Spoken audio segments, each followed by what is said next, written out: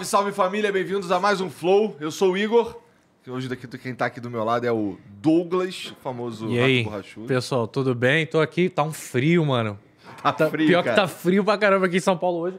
Mas eu acho que o, o nosso convidado já É, passou não, o mais Chico, frio. O Chico, pro Chico tá calor, né? Chico Matos, fotógrafo, o cara mora no Ártico. Como é que pode um ser humano escolher morar no Ártico? Pois é. Bom, tu já veio do lugar frio também, né, cara? Tu, tu não é do Rio Grande do Sul? Eu sou gaúcho lá do interior lá. E lá, porra, É frio. mas não é... É esse frio aqui que a gente tá passando agora? É, é um frio úmido, né? Então dói no osso, a roupa fica meio úmida, dá mais frio ainda, porque quando, onde eu moro é seco, é diferente. Oxi. É mesmo? tá É vendo aí, ó? é muito Vivendo e aprendendo, calma É, aí. é. Porque eu também tô morando num, num lugar muito úmido, tá fazendo muito frio. Inclusive, eu vou. eu- cara, olha só a necessidade: comprar uma secadora de roupa. Eu tô. Realmente a gente tá tendo essa necessidade porque as roupas não estão secando, velho. E tá ficando. Ela, ela- ela fica fora. Por exemplo, se eu deixar uma camisa agora do lado de fora 30 minutos, ela fica molhada, velho. É Caralho. muito úmido lá onde eu tô morando, velho. Bom, mas, bom, mas eu não... Tem, lá é úmido e frio, mas, porra, o cara mora no Ártico. Mas eu não sabia que era seco. É muito diferente. O frio ah, molhado te dá muito mais frio. Eu sinto muito mais frio quando é mais 5 ventando com chuva do que menos 30 sem vento. Você é louco. Eu sinto muito mais frio. E é uma coisa que vocês vão entender só estando lá pra, ent- pra, pra sentir. Cara, vamos falar sobre essas porra aí, porque isso é mó doideira. Eu nunca vi neve na É. Eu vida. também nunca vi É, neve. tá carioca, né, mano? ligado? Nunca vi neve. Bom, mas antes da gente continuar, tu gosta de música eletrônica? Gosto. É? Pô. Tu gosta do Vintage Culture? Olha, cara, eu tô meio desatualizado dos sons agora, porque eu trabalhava com música eletrônica, eu era VJ nas É? antigas, em Balneário Camboriú, viajei, tra- trabalhava com Experience, com Psy eh, Electronic, Psy Então, mas o, o Vintage, ele tá participando de uma. do- daquela votação lá da DJ Mag, dos 100 maiores DJs do mundo, tá ligado? E o Vintage é brasileiro, representa a cena brasileira como, brasileira como poucos, certo? E, além de tudo, é nosso amigo pessoal. Fez a nossa música, essa música tu acabou de ouvir, foi ele que fez, inclusive. É, e, cara, a gente tá. A gente tá ajudando o Vintage aí a, a- a se ranquear, ranquear o melhor possível nesse. Na, na DJ Mag, tá bom? Então, se você puder ajudar, se você puder votar, aqui no link tem a. a- aqui no. É no comentário fixado ou é na descrição? Nos dois. Nos dois. Tem aqui embaixo o link, tá bom? E tem o QR Code aqui também pra você só mirar o celular e ir direto pra lá. Você só vai precisar fazer um login rapidinho. É, você pode usar o Google, a Apple, qualquer, qualquer ou alguns outros aí pra poder fazer o login também. E você vai, vai ter cinco espaços lá pra você votar no seu DJ favorito. É só escrever Vintage Culture cinco vezes, tá bom? Pra quem tá só ouvindo, o site é vote.djmag.com, tá bom? Entra lá, vota no Vintage, vamos tentar fazer ele aí ficar o mais alto possível nesse ranking, porque, porra, é maneiro demais. É tipo o Oscar pra eles, tá bom? É, tem uma, um emblema hoje, não tem? Já chegou o emblema aí. Toma aí. Obrigado. Olha que da hora, mano. Pá, que irado, cara! Olha só. Pô, ficou maneiro mesmo. Cara, o Atca boreal ali, ó. atrás. Oh, Porra. quem é que fez isso? Esse é o Lipe Nero que faz. É, bom, quem tá assistindo, inclusive, pode entrar lá no Instagram dele, que é Lipe Nero Cunha, tá bom? O moleque é bom demais. A, a arte do moleque lá é sinistreza. Entra lá e vai conferir. E você pode ter acesso a, essa, a esse emblema aqui totalmente de graça é, para adornar o teu perfil lá na NV99. É, tudo que você precisa fazer é entrar em nv99.com.br barra resgatar e usar o código Ártico, tá bom? Digita Ártico lá no- na página de resgatar que você vai poder ter esse emblema aí, mas só se você fizer isso nas pelas próximas 24 horas. E se atrasar já era, só vai ter acesso quem resgatou, tá bom? Ou depois se você comprar de alguém no mercado de emblemas, você estaria sendo, fazendo uma burrice, né? Porque já que você está aqui assistindo mesmo, é só ir lá e resgatar de- enquanto é de graça. Né? Então faz isso, beleza? É isso. Ah, manda uma mensagem pra gente. Lá pela mesma plataforma, você pode mandar uma mensagem pra gente lá que, que a gente lê aqui no final do programa. Deve pintar algumas dúvidas sobre ser um brasileiro e morar no Ártico, assim. O que, que tem de vida lá, além de urso e pinguim, cara? Cara, pinguim só tem na Antártida, velho.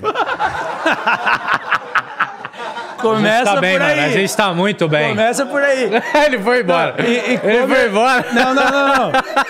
e começou eles falando que eu sou fotógrafo, né? Começa que eu não sou fotógrafo, né? Ah, não? Não. Ai, moral. Não, mas essa é a vibe legal. Por Não. exemplo, mano, eu te conheci real quando o Borgato te mandou teu Instagram. Eu falei, caralho, que da hora, mano. Maneiro, né? Maneiro, não Caralho, conhecia. cara, Realmente eu não conhecia a o teu foto trabalho. de perfil do cara é com a carinha dele toda cheia de Né? gelo, mano. Aí você vê lá, mano, Aurora Boreal, caralho, só vê essa parada no Cavaleiro do Zodíaco, É, irmão. é. Não é não? Eu falei, cara, da hora, eu acho que é uma pessoa interessante pra trocar uma ideia, aprender, entendeu? Porra. E, mas... Eu vi que tu foi parar lá meio por acaso, né? Por acaso. Muito por acaso. Isso que é o mais bizarro, porque, cara... O cara era DJ, brother. No VJ, Rio Grande do VJ. Sul. VJ, VJ. Vai fazer um tempo que eu não escuto o que que é VJ, É, entendeu? DJ. Aí, Eu era de tudo. Eu fui comissário de voo, fui de tudo. Trabalhei passando carne em churrascaria lá na Austrália. É mesmo? Pô, que Pedreiro. piranha que sangue É, e como é que você foi parar lá, mano? Cara, eu conheci minha mulher na Austrália. Eu acabei na Austrália. Eu trabalhava num navio de cruzeiro. Primeira vez que eu cheguei no Ártico foi no navio de cruzeiro. Que eu não tinha dinheiro para viajar pro, pro exterior. E eu queria, de alguma maneira, ir pro exterior conseguir um trabalho no navio de cruzeiro. Fazendo o quê? Bartender. Mas era maneiro trabalhar no navio de... Quanto tempo tu ficou no navio de cruzeiro? É, deu uns cinco, seis meses. Seis meses. É. Deu pra fazer quantos cruzeiros? Ah, um monte, cara, porque eu fui do Alasca até a Austrália pelo mar, 31 dias, passando pelo Havaí, por todas as ilhas do, do Pacífico, Samoa, é, ilhas, é, por exemplo, Tahiti, Bora Bora. Nossa, o cara grampeou Fiji. o passaporte É, fazendo essa brincadeira aí. É, pois é, exatamente. Peraí. É, parece um rolê muito foda. Tipo, ir pra Fiji deve ser um, um bagulho muito louco. Bora, bora, etc. Cara, é. Quando você chega nos lugares lá, tem uma folguinha pra tu curtir, imagino, né? Tem, mas é, não tanto. Eu comprava o meu tempo porque Ah, no navio a maioria dos caras são filipinos. E os filipinos só estão lá para guardar a grana e mandar para a família nas Filipinas. E eu tava lá só para ver o mundo, desesperado. entendi, entendi. Então, não, e é uma quando- maneira muito inteligente pra ver o mundo. É, É. Claro. Só que quando chega no porto, os caras é, te botam para trabalhar sempre, sempre. Tu sempre tem trabalho. E daí tu não pode sair do navio. Ou tu pode sair uma, duas horas. Aí o que, que eu fazia? Tem o mercado negro lá dentro. Daí tu vai e diz, ó, 20 dólares por hora, quem quer trabalhar para mim? Aí vem um monte de cara, tu pega o mais responsável, que trabalha bem. Ele pode trabalhar legalmente para ti, ganhando esses 20 dólares por hora ou 15 por hora. E daí eu pegava todas as excursões, daí eu saía com os passageiros do navio. E aí os caras me chamavam de turista lá, porque eu tava em todas, né? Mas era o que todas. você era mesmo, né? Era o que você se propôs, né? Eu, eu não fui para trabalhar, tanto quando eu saí de lá, eu saí com mal termos até. Eu saí, eu fui para fazer uma temporada. E daí quando eu saí, tipo, acho que meu último cruzeiro já tava de saco cheio, cara, já não aguentava mais. Chefe, chato, tudo. Daí eu saí e tinha que chegar tipo às quatro da tarde para começar meu trabalho e o navio ia sair às nove da noite. E daí eu tinha uma família australiana lá que gostava muito de mim, eu conhecia eles há muito tempo, fui na casa deles e disse, ah, teu último cruzeiro não volta, não vai. E eu cheguei atrasado umas quatro, cinco horas lá, os caras estavam em pé comigo e falaram, ó, a gente não vai renovar o teu contrato. Eu falei, tá, eu não queria. Ô, mas pensa bem, pô, às vezes tem muita gente guardando uma grana pra dar uma mochilada. Inclusive, eu, pô, eu tava até conversando com minha namorada hoje, que é uma vibe legal, entendeu? Uma vibe diferente. É, mas, pô, que maneira inteligente de dar uma mochilada, né? Pô, no Ártico, tu tá há quanto tempo, cara? 11 anos. 11 anos. Eu sou o Chico e eu moro no Ártico há 11 anos. É. E, o, e, o, e a tua esposa tá contigo? A minha esposa está comigo. Então, ela, ela. é da Suécia. Caralho, Ela não é brasileira. entendi.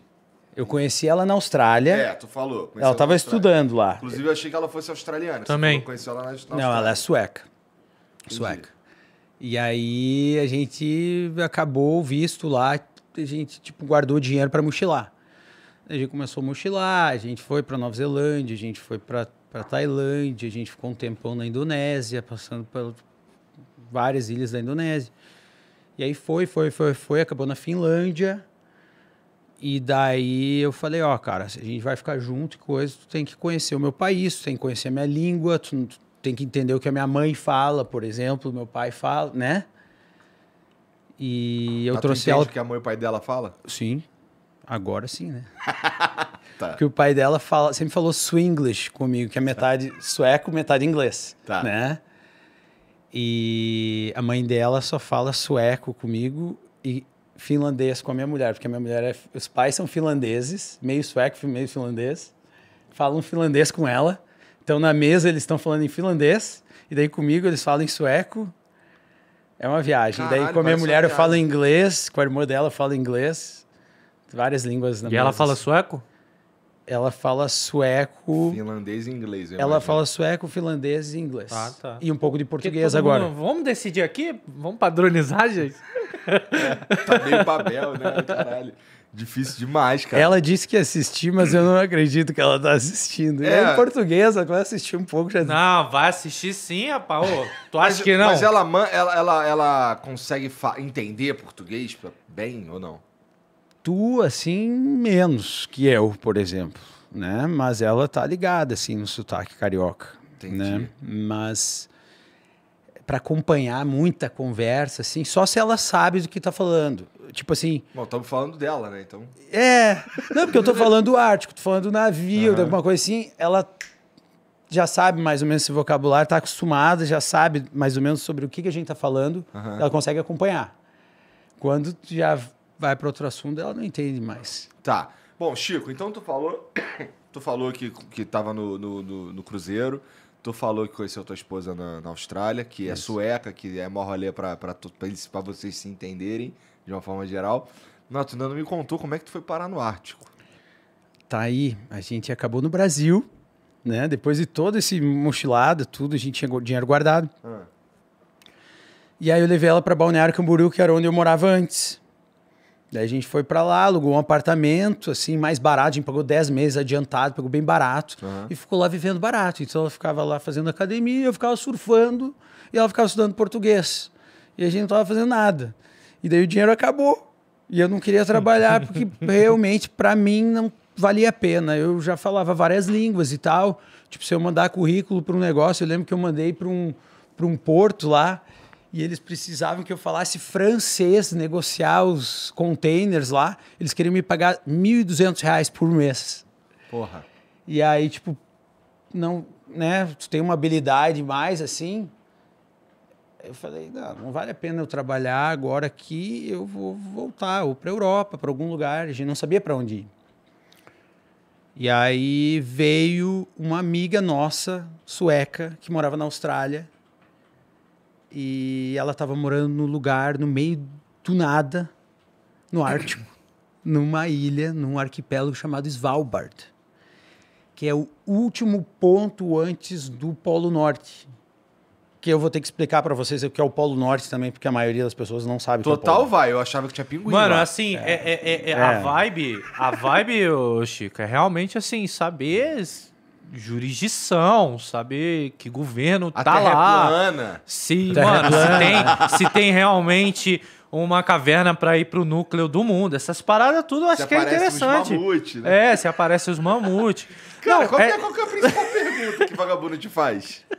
Como é que tu toma banho? Que é uma boa pergunta, mas Ótima parece ser pergunta. uma. Você deve morar num lugar que tem, sei lá, água quente, né? Todas as casas lá são muito preparadas, assim. Tipo, a Só casa. tem muito como de outro jeito. A maioria das casas no Brasil, até que tu seja meio rico, assim, tem um casarão, é primitiva. É primitivo no Brasil pra gente que vem pra cá, Tá. por mais que o cara esteja, tenha muita grana, tenha a casa toda de mármore, sinistra, assim. Tem problemas É que ele não primitivo. precisa resolver, né? É primitivo, é primitivo. É, é- é- tipo as casas onde a gente mora é de madeira e as casas são muito quentes dentro, né? A janela é dupla, dupla, dupla, ó, Dupla. dupla. Então tipo tem vidro, aqui tem um espaço com ar e vidro. E vidro. Então não passa o calor para dentro. A porta tu fecha é como se fosse a vácuo a tua casa. Tu sente no ouvido quando tu fecha a porta da casa. Não, você dá um grito dentro da casa, fora da casa ninguém escuta. ninguém escuta. Tu não escuta nada lá de fora. Então, por isso que eu, eu acho, às vezes, primitiva a construção aqui, porque tu escuta tudo lá de fora. Eu vou dormir na casa do meu pai lá, já escutando os caras na rua. Drywall. Passa vento pela janela, né? Então lá às vezes tá zero grau lá no Rio Grande do Sul. E daí tá zero grau dentro de casa também. Aí fica assim ligando o ar-condicionado, jogando aquele ar ali, se fica esfriando ao mesmo tempo, então tipo, não faz sentido, né? Então quando a casa é bem feita, tu joga um pouquinho de ar quente, ela fica quente. Teu próprio corpo mantém Esquenta a a temperatura. Isso. Bom, checkpoint. Não moram no iglu. É, começa. Vamos fazendo as perguntas. Vamos Pô, fazendo é as burro, perguntas. lá não tem iglu, cara. Não, ah, não, não mete essa não. Deve ter iglu lá sim. Tem. Tem. Lógico que tem, porra. No, no, no, no, no desenho lá tinha. Mas é muito curioso, porque, mano, assim, é, é, eu, não- eu tô. Eu quero fazer várias perguntas. Eu te garanto que a maioria das pessoas que estão vendo também, com certeza deve estar, tipo, muito curioso no sentido de, tipo, caramba, será que tem mercado? Será que a galera vai e faz um, um- Já viu lago congelado pra pescar? Tipo, tem muita coisa que a gente vê em filme, em desenho, na maioria das vezes. Desenho, é. É, é, e quer perguntar pra saber se é assim mesmo lá, né? Mas, Chico, porra, lá, lá no. Essa, essa, esse lugar que você mora aí, quantas, quantas, qual que é a população dali? Ah, da Quant- cidade onde eu pessoas? moro agora é 150 pessoas. Calma aí. 150 pessoas, acabou. 150 pessoas acabou, não tem mais nada. Eu, te- eu dirijo 35 minutos para ir para o supermercado, onde eu moro agora. Onde eu fui a primeira vez Svalbard, que eu fiquei nove anos lá, que é a cidade mais ao norte do mundo. Ah, Tem 2.500 pessoas e 3.500 ursos polares em média. Então, tipo, tem mais urso que gente, né? Agora eu mudei para um lugar no Ártico, um pouco mais para o sul, que é o Havaí do Ártico. Então, tu tem um verãozinho, tu tem altos, altas ondas, tem surf, tem uma vibe diferente. E é um pouco mais civilizado, tem estrada e tal. Onde eu morava antes não tinha estrada. Tu fica dentro da cidadezinha ali, e daí é uma ilha gigante que não- tu- só com uma moto neve tu pode chegar nos lugares. Né? É isso que eu morei, tipo, nove anos assim. Então eu saía de casa, como tem muito urso, é proibido tu sair dos limites da cidade sem uma arma. Então eu andava armado todo dia, né? Tipo, espingarda. Era normal, tá com a espingarda e tal. Aí, tipo, tu chega no banco, no banco diz assim, proibido entrar com a espingarda aqui. Assim. E daí eu tirei uma foto quando eu cheguei lá e disse, como que é proibido? Tipo, é óbvio que é proibido entrar no banco com a espingarda, né? que doideira, cara. É, não, dá- doideira é pouca, pô. Não Aí, sei- então, então, se você tá há 11 anos lá, tá dois anos nessa, nessa nova cidade aí, Isso. 150 pessoas. E 150. A nova cidade tem 150? 150. E a antiga? A antiga é 2.500. 2.500. Ah, muito tá. mais estrutura, muito Ah, mais estrutura. Entendi. Pois é, pois é. E tu tá falando que essa é muito mais civilizada. É, Sim, essa que é no final do mundo lá tem mais, tipo assim, tem mais turismo, mais as pessoas vão pra lá, tem muito cientista, é, televisão, entendeu? Foi aí que eu comecei, porque eu já fazia vídeos no Brasil, Aham. né? Eu fazia vídeo pra, sei lá, qualquer empresa que precisar, o Flow tá precisando de uma edição, um negócio, eu vou lá e faço. E aí comecei a fazer VJ, fiz muito trabalho de, de, de, de- de edição, e aí eu comecei a filmar, e aí eu cheguei lá, eu vi que tinha um mercado assim. Posso começar já a contar essa história, porque já é outra história, né? Pode ficar à vontade, cara. Imagina que a gente tá conversando, cara. É, brother. É, a gente Não tá conversando. é. não tão Você tá, entrevistando. cê- cê tá me deixando é com vontade de ir pra esse lugar. Isso Pois é. Pois é. Então tinha muita gente assim, tu via assim, BBC, é, Discover, todo mundo lá, atrás de imagens espetaculares das montanhas, das focas, das morsas, dos ursos, do gelo, do gelo caindo, das geleiras. Tanta coisa para filmar. Então os caras chegavam lá para filmar. E aí eu tava. Quando eu fui para lá, eu fui por indicação dessa minha amiga. Quando eu cheguei lá, ela não tava mais lá. Ia lá. E daí eu cheguei naquela cidade assim, tipo, o que eu vou fazer aqui agora, né? Daí eu pensava que todo mundo se conhecia na cidade, daí eu cumprimentava as pessoas na rua, elas nem olhavam pra minha cara. E eu Uma fiquei. vibe meio Curitiba, né? Isso! A vibe meio Curitiba. Não, tô brincando, ó, galera de Curitiba aí.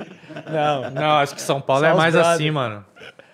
E, e aí eu vi que tinha muita gente do mundo inteiro lá, 51 nacionalidades, numa cidade de 2.500 pessoas. 25 línguas faladas. É muita coisa, Cara, cara. parece muito difícil viver num lugar desse. Além de todo o desafio natural, tem esse desafio social aí.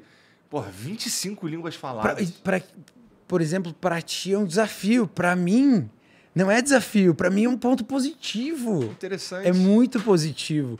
Tu aprende outras cu- culturas.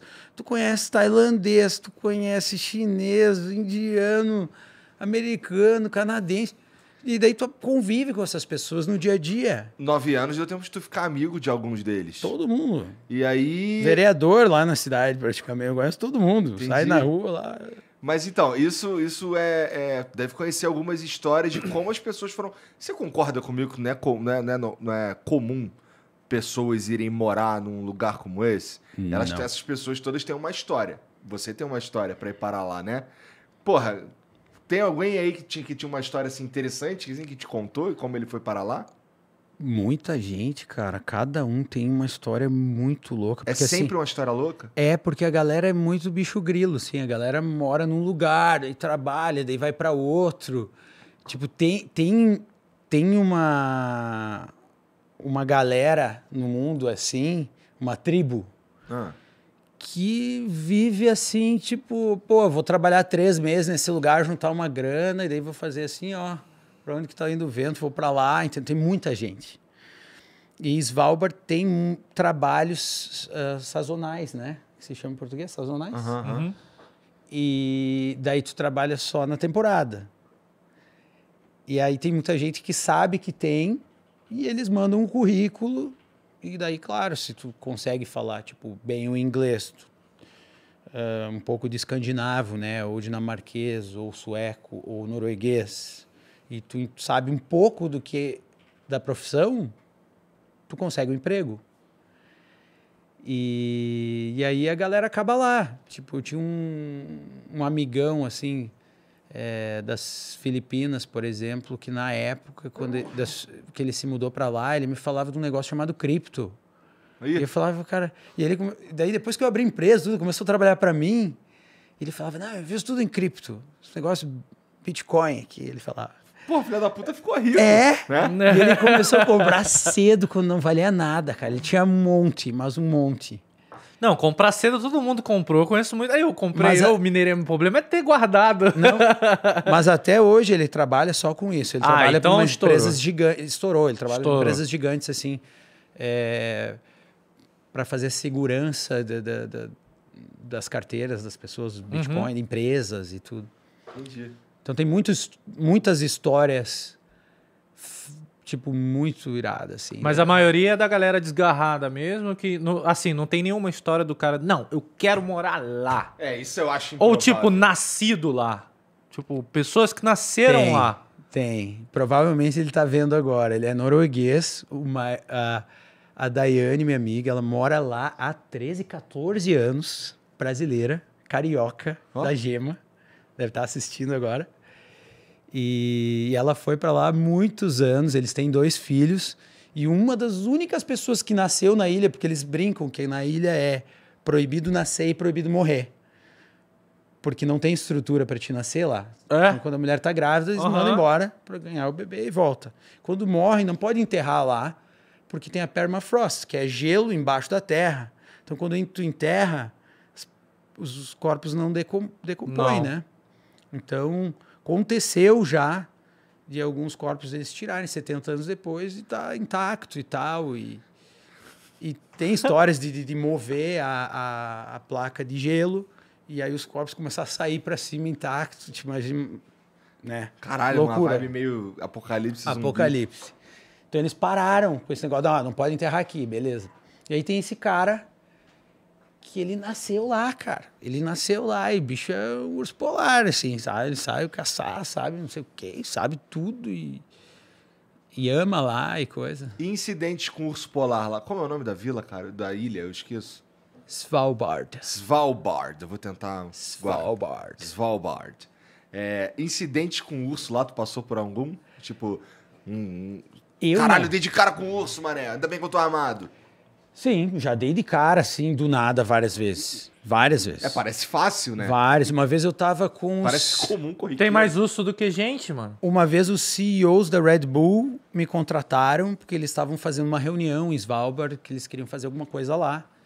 E eu tenho uma empresa de produção, nesse tempo eu fiz a minha empresa. E eles me contrataram e tal para agilizar um negócio para eles lá. E aí eu levei eles, tipo, 100 quilômetros da civilização no meio do gelo do Ártico. E daí eu falei para eles, ó, cara, existe isso, né? É meio, é meio difícil de conceber para um cara que sempre viveu em cidade, o caralho. É meio difícil de entender. 100 quilômetros que não tem da civilização inteira. Tipo, eu tô aqui andando a 100 quilômetros e não tem nenhuma chance de encontrar um ser humano. Não, impossível. Impossível. Tu não encontra nada, não tem uma estaca, não tem nada. É só gelo, é só bicho, é só né? E daí tu vai no mar e o mar tá congelado, ele vai mexendo, ele racha, entendeu? Então tem esse perigo. E aí eu tava com os caras no mar congelado, na frente de uma geleira. Então, como o urso polar caça na frente da geleira, porque a foca esconde o bebê lá, naquele gelo quebradinho, tem o um paredão azul, cai aquele gelo, fica todo o gelo quebrado, aí congela o mar, né, no inverno. E a foca mãe bota os bebês escondidos embaixo ali, né? E o urso sabe, e o urso fica escaneando ali, ele passa, passa, passa. Então, tu quer achar um urso, tu tem que ir para frente da geleira azul. Entendi. E aí tô lá com os caras, mas não fui procurar urso, nada. E eu falei para eles, ah, urso, urso. Mas vários escandinavos, assim, que vão para lá, eles acham que, ah, urso não é fácil de achar, tu não vê assim, né? Porque para eles ver um urso polar, assim, é uma coisa muito grandiosa. Tu fala para um escandinavo, ah, viu urso polar? De perto, já viu urso polar? Sim, os caras cara, não acredito. Eles ficam assim, né? e esses caras né, era o CEO Red Bull, Finlândia, Noruega, Suécia, Dinamarca. Os caras parados lá. Eu falei, pessoal, gente nas motos assim, não se mexam, sem movimento brusco, fica tranquilo que tem um urso atrás de vocês agora. E eles começaram a rir. E tinha um Achando urso. que era caô. É, eu virado aqui, eles estavam falando comigo. Só que eles acharam que, como eu sou, falo muita né, brincadeira, piadinha brasileira e tal, eu falei, ó, sem movimento brusco, agora não se mexe, vocês vão olhar para trás devagar. E aí vocês vão se aproximar das motos de vocês, que a gente vai ter que sair. E eles, ah, viraram-se de urso atrás deles, assim, não se mexe. Tranquilo. De quebradinha. Vai. é. Não, mas você nunca precisou alvejar um urso, Não, por exemplo, não. né? É, Isso. a- tá ali para último caso. A arma É. tá para te dar uma confiança que tu é, por exemplo, se tu se comportar como a presa, o urso sabe. Se tu se comportar como o predador, o urso sabe. Então, primeiro tu tem que adquirir uma experiência e ir devagar estando na frente de um urso para não ter medo mais. E aí para ti, né, adquirir o negócio Você tem que pra- ser um meio termo aí no caso, né? É. com o tempo tu, tu, tu vai Porque eu acho que se você agir como predador, o urso vai vir pra cima de você. Não. Não? Não, não, não, não, não. O urso sabe. Ah, O urso sabe. Porque, sei lá, vai, é predador, ele Tu também dá é um passo predador. pra trás, o urso é cachorro. O cachorro corre de um cachorro na rua pra te ver. É. É. O que o cachorro vai fazer? Vai correr atrás. A menos que você abaixe e pegue uma pedra, ele corre de tudo. É, é, é, é. E, e- o que que acontece quando tu pegou a pedra? Tu parou e tu tá mostrando pra ele que tu vou atacar. Então tu tá se comportando como um predador e, e isso é um negócio energético também, é uma energia. Ele sabe. E ele vai, ele vai embora. E o, o urso sente isso em ti, ele sente o medo, porque existem outros tipos de comunicação, não só verbal, não só.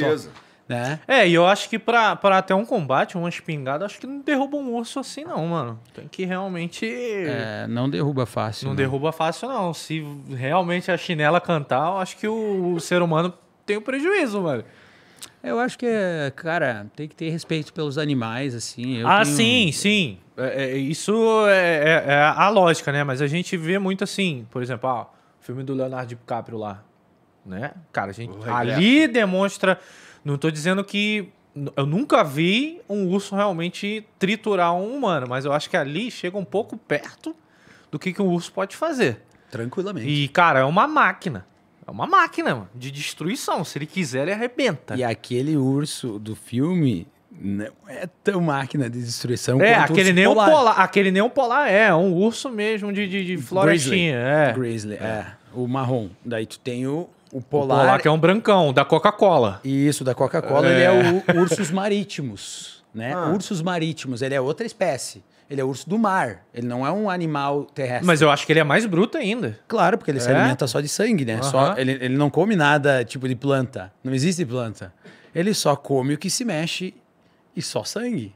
Só foca, só morsa, só o que passar na frente. Se der passar um ser humano bobão, é ele mesmo. É ele É mesmo. ele mesmo. claro. tranquilamente. E morre gente, né? É. Tipo, é triste, porque o pessoal sai acampar, sai fazer várias coisas lá e bota comida na barraca, não sei o quê, e daí. Chegou o urso, cheguei. Então o urso da Coca-Cola ele não é tão carinhoso assim. Não. Propaganda enganosa. Propaganda enganosa demais. Eu acho que até tiraram o urso da Coca-Cola por causa disso. Nesse lugar que você mora agora, questão de lidar com animais é menos, eu imagino. Urso, não tem urso. Só alce. É. A alce passa na frente da minha casa direto. É, ele pode ser perigoso também, né? Se tá com um filhote e coisa, eles pisam. E pode matar um humano, eles matam outros animais e tal. E Tem- lá onde você mora é realmente considerado o Polo Norte já. Não. Exatamente. Polo Norte e Ártico são duas coisas distintas. Distintos, tá? Tá, me Né? ajuda aí, Chico. É. Então vamos lá. Desculpa, cara, se a gente tá parecendo muito burro. Não, é que eu você. realmente. Não, realmente, Eu cara, é. ninguém. Nunca parei pra. É, Entendeu? exatamente, claro. A maioria. Sabe qual que é o problema de vocês? É que vocês não assistem meu canal no YouTube. Não, mas Esse é é só É assistir verdade. agora. Hã? Mas já tá aqui na descrição, aqui no comentário fixado pra quem quiser Aí, assistir, ó. ó. Se ficar faltando responder É que é alguma muito- coisa, vai lá no canal do Chico. É muito divergente da. do. do brasileiro. Cara, eu nunca vi neve. O Igor acabou de falar que também nunca viu. Tenho curiosidade demais. Só me ligar. Aí, ó. Tu me receberia na tua casa? Claro. Ih. Olha aí, ó. Olha aí, ó. Maneiro, hein? Claro, eu com curto, hein? certeza. Eu curto. Di- diz o Léo Lins que vai lá no final do ano. Uma galera já foi lá visitar. A galera aqui, tudo. ih, muita gente aqui do Brasil já foi lá visitar e teve a experiência da vida. O próprio Ricardinho que está aqui disse que mudou a vida dele com o Ártico, porque a experiência é tão grande. É um negócio tão grande a natureza, é tão impactante que muda a tua vida para sempre, assim. Tu, E- tu entende outra. Esse contato com a natureza eu acho muito legal. Quem fez isso muito com a galera foi o Richard, mano. Levar Richard Rasmussen, de levar assim, levar pro Pantanal. Pantanal não, pra, pra, Ma- pra Manaus, né? Amazônia. Amazônia. Pra Amazônia. E, cara, assim, foi uma experiência muito legal. É. Eu nunca fui, mas eu já fui na casa dele. Ah, eu Entendeu? também. É. Tem uns bichos lá sinistros. Mas eu já vi ele levando uma, garé, uma galera assim e é outra vibe. Mas a sua vibe é interessantíssima também, porque... Oito meses do ano lá é neve, é isso? É, em Svalbard tem oito meses por ano com neve. Mas no topo da. Tipo, 60% do arquipélago é gelo permanente que nunca derrete. Gelo, azul, gelo, duro. Isso é, são as geleiras, os glaciares, né? Aham. 60%. Então tu imagina, mais da metade do lugar Não é é chão. coberto. Não, tem chão, e daí começa o gelo, e o gelo, tipo, pode ter 400 metros de espessura, Nossa. entendeu? E para te viajar, que nem a gente faz as expedições, é que eu já fiz algumas expedições, modéstia à parte, que é, pouca gente fez, ou tipo, mesmo noruegueses que moravam lá há muitos anos, é, não chegavam em tal lugar porque era perigoso, que não sei o quê, e eu tava muito louco, assim, no início, muito porra louca. Me, me juntei com os caras, assim, e a gente acabou indo pra para um, um lugar lá que desde 2006, acho, ninguém ia. Isso foi quando? Isso foi em 2015, É. 2016, é. Então, tu voltou lá depois de 10, do último ser humano ter pisado lá Isso, 10 isso. anos E atrás. se Isso. duvidar, você foi o último ser humano a estar lá. Talvez no inverno. Olha no inverno, no verão, os caras chegam de barco. Mas no inverno, não. No inverno, não. E isso faz parte do Ártico. Vamos voltar pro Ártico agora. Tá, isso. O Ártico, quando tu olha no globo, é, tu vê uma linha. Tem, a- tem as linhas do meridiano, que são é, horizontais, né? Tem os, os meridianos horizontais, a- a, a longitude e tu tem a latitude, que são os horizontais, tá? Uhum. Quanto maior o número, mais ao norte é. Então tu tem o zero no Equador, daí tu vai subindo. Né? 10 graus ao norte, 20 graus ao norte, 30 ao norte. E tu vai até o 90. E o 90 é onde acaba. Tá? E a mesma coisa para o sul. Né? O que acontece é que o Ártico, tu chega ali perto dos 64, tem uma região ali que acima daquilo tudo é Ártico. Então tu tem Finlândia, Noruega, Suécia, Rússia, é, uma parte do Canadá, uma parte do Alasca, que é Ártico. Isso tudo é Ártico. Entendeu? A Noruega é só um pedacinho que é o Ártico. Entendi. E o Polo Norte é onde todos esses meridianos que são horizontais no globo, eles vão se convergir no topo. Sabe onde segura o globo, aquele negocinho, o topo ali? Aquilo ali é o Polo Norte, é um metro quadrado. Aquilo ali é um- uma posição geográfica no meio do oceano que tem um metro quadrado. Não cabe duas pessoas no Polo Norte. Então todo mundo fala, ah, eu vou lá para o Polo Noel." Norte. Não sabe o que que é o Polo Norte, brother. Fica quieto. Fala bobagem. Então Entendeu? isso tudo, através da cartografia, a gente vê que o planeta ele é redondo, né? Porque se você for além, aí você já tá começando a dar a volta ao mundo. Não, é, é plano, cara. Para de falar merda. Olha só, não discute isso não, senão vai dar B.O. Essa é uma discussão lá no meu canal. Entra os caras. É, redondo, eu fico só olhando, né? Não- Cada um pensa o que É porque quiser. você tá ali num ponto de muita discussão. É, mas eu, cara, nem eu sei como- o que, que tá acontecendo, né? Tipo. cada um, velho, acha o que quiser, né? Mas, mas entendi. É aquele maluco, filho da puta. Não, é que tem gente que acha que é Game of Thrones. Se chegar ali, ali é o limite. Não, Não isso, pode mais, isso é. a Terra plana, no caso, eles falam que a Antártida é o limite, É. que tem o paredão de gelo. É, que o. Game of Thrones total o negócio, E assim, né? várias coisas da Terra plana bate, não é bobagem, porque assim, parece que pô, faz sentido, sabe? Só que quando tu chega na Antártida, eles dizem que, que é o quê? Que o Sol tá rodando assim, então não tem como ter o Sol da meia-noite na Antártida. Mas eu já fui 12 vezes pra Antártida. É, e todas as 12 vezes eu vi o Sol da meia-noite na Antártida. Né? Então existe. Né? E agora, onde é que tá seu Deus? É, e no caso no Polo Norte, eu só eu tô falando isso assim, tipo, geralmente eu não gosto de falar coisa com propriedade, mas eu fui o brasileiro que mais pisou no Polo Norte na história. Então eu posso falar com propriedade. Eu sou parte da operação dos russos para chegar no Polo Norte. Então, Existem expedições lá de turista. mais ou menos, cara, não é turista, turista, é assim, ó. Deve ter muito pesquisador, mano. A maioria é pesquisador, É. Mas tem pessoas extravagantes que pagam os 25, 30, 40, 50 mil dólares só para pisar, tirar uma selfie e sair fora. Né? Daí, Aí tem todo. Né? Vocês vão ter que assistir lá no meu canal. Tem um vídeo chamado o, ah, Polo Norte. Tipo, é uma produção assim que canal nenhum do mundo inteiro tem. Não, Nossa, não- eu quero muito reagir os vídeos dele em live agora, brother. faça isso. Nossa, mano. é assim. que eu quero ver isso tudo, velho. Não, não tem uma pessoa no mundo que tem um material desse. Por quê? Porque ninguém nunca explicou o que é o Polo Norte. E eu não só explico, eu vou lá e eu piso no Polo Norte e eu mostro o que é o Polo Norte. Porque para chegar no Polo Norte e parar no Polo Norte, tem que ficar andando. É uma escada rolante. Por quê? Porque é gelo em cima do mar que está andando 300, 400 metros por hora. Andando, assim, ó. Então, o nosso aeroporto, a gente pousa o avião no pedaço de gelo andando. E ele racha. E às vezes a gente fica preso lá, tem que racionar comida, que não, não tem onde pousar o avião para nos buscar de volta. Para ir na- nesse último meridiano, entendeu? Caralho, que maneiro. Que loucura, mano. Maneiro demais, cara. É. Mas precisa mesmo ter um. Precisa ter um cara maluco que nem tu pra curtir essas paradas aí, cara.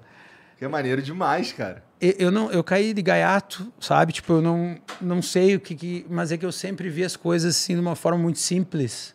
Eu nunca achei que as coisas fossem um problema ou que isso é difícil. Eu disse, ah, vamos lá, eu vou. Né? Sei lá, tentar, né? O que, que eu tenho a perder? fazer um vídeo foda ainda. É. Não tem nada a perder, sei lá, né? A E- primeira vez que tu foi, tu foi como? Porque assim, é, você falou que existem pessoas que pagam alto pra estar tá lá. Isso. Mas pra, pra- o que, que aconteceu pra tu conseguir essa oportunidade? Aí, eu mudei a minha cabeça de uma maneira. Eu era uma pessoa que queria muito agradar as pessoas que eu admirava. Tipo, pô, eu acho o Igor foda, o cara é sinistro e tal, então eu vou ficar puxando o saco dele. Sabe? Não faça isso, isso é feio. Você- Não, não, não. Em vez, ao invés de eu ser eu mesmo e ver quem que gosta de mim e eu me juntar com essas pessoas que gostam de mim. E eu estava fazendo o inverso e eu assisti uma palestra no americano e ele fala muito sobre isso, o porquê. Né? Ele fala que é parte da biologia humana e tal, que eu também falo nos meus vídeos, quem quiser vai, vai ver. E, e eu tinha um cara que sempre passava lá, eu estava trabalhando na época no bar, lá na, na- na- em Svalbard. Já fazia meus vídeos, já estava metade da minha empresa privada e metade ganhando uma graninha trabalhando como barman. E tinha um cara que eu sempre via lá e eu não dava bola pro cara, mas o cara me adorava. Me adorava, eu nunca dei, tipo, conversa pro cara. E aí um dia o cara chegou pra mim e falou assim: pô, vamos tomar uma cerveja? E eu tava nesse, já nessa vibe de identificar quem gostava de mim. E esse cara tava todo ano lá. Eu falei: quer saber de uma coisa? Vou tomar uma cerveja com ele. E era um irlandês. E aí ele falou pra mim, eu falei, tá, mas o que que tu faz? Conta aí dele. Cara, eu levo pessoas pro Polo Norte para correr 42 quilômetros lá, porque eu fui a primeira pessoa a ir lá no gelo, junto com os pesquisadores russos, e eu corri 42 quilômetros, fiz uma maratona inteira a 40 graus negativos, e ele bateu esse recorde, ficou assim, e ele fez um evento para quem queria bancar seus, né? Ba- bancar é caro, e daí tu vai lá e tu corre os 42 quilômetros com a maior das a North Pole Marathon, a maratona do Polo Norte. E a gente fica nas barracas. Parece uma ideia muito ruim, mas tudo bem. continua. É, é, uma- é Não, uma- tem gente que quer se desafiar de uma forma. Qual é a forma mais extrema? É gosta essa, de mano. maratona, essas paradas, o cara adora. É uma coisa assim, tipo, É. é, o, o- Como é que diz? Bucket list, né? Tu tem que fazer. Lista do balde, né? É. Coisas pra fazer antes de morrer. Coisa pra fazer antes de morrer. É. E aí, eh, ele me levou para ser o eh, Polar Bear Guard, o ah, guarda-costas de, polar- de urso polar. Tipo, eu ficava armado tomando conta dessas pessoas para que não aparecesse um urso e comessem elas. Então ele me deixou escolher outras pessoas, e pegou os rifles e coisa e foi lá fazer a dita da segurança. E convencer essas, essas outras pessoas foi fácil? Na, claro, claro, todo mundo quer ir pro Polo Norte. É uma mesmo? todo mundo, todo mundo. Tá. As pessoas que tu conhece, assim, todo mundo quer ir pro Polo Norte, que mora na área. E, e esse cara, pô, é um cara que eu não dava bola, eu comecei a dar, né, co- conversa pro cara, e o cara era um cara super interessante, gostava de mim, falou, não, vamos lá. E aí foi uma coisa, como eu já fazia vídeo, eu digo, vou levar uma câmera vou- fazer um videozinho aí, né? E aí eu fiz um videozinho para ele de presente, para agradecer por ter me levado pro Polo Norte, né? Fui tipo um dos pouquíssimos brasileiros que pisaram no Polo Norte. E aí quando eu dei o vídeo para ele, o cara pirou. Falou: "Não, não. Vem trabalhar comigo". E aí a empresa dele contratou minha empresa para fazer vários eventos eh, ao redor do mundo, um monte de coisa, né? Inclusive vídeos no Polo Norte, por isso tu foi lá tantas vezes. Exatamente. Exatamente. E acabou se tornando um especialista nisso, né? Porque o cara vai lá, faz vídeo, vai lá várias vezes. Assim, não é todo mundo que tem esse know-how pra ficar indo lá várias vezes.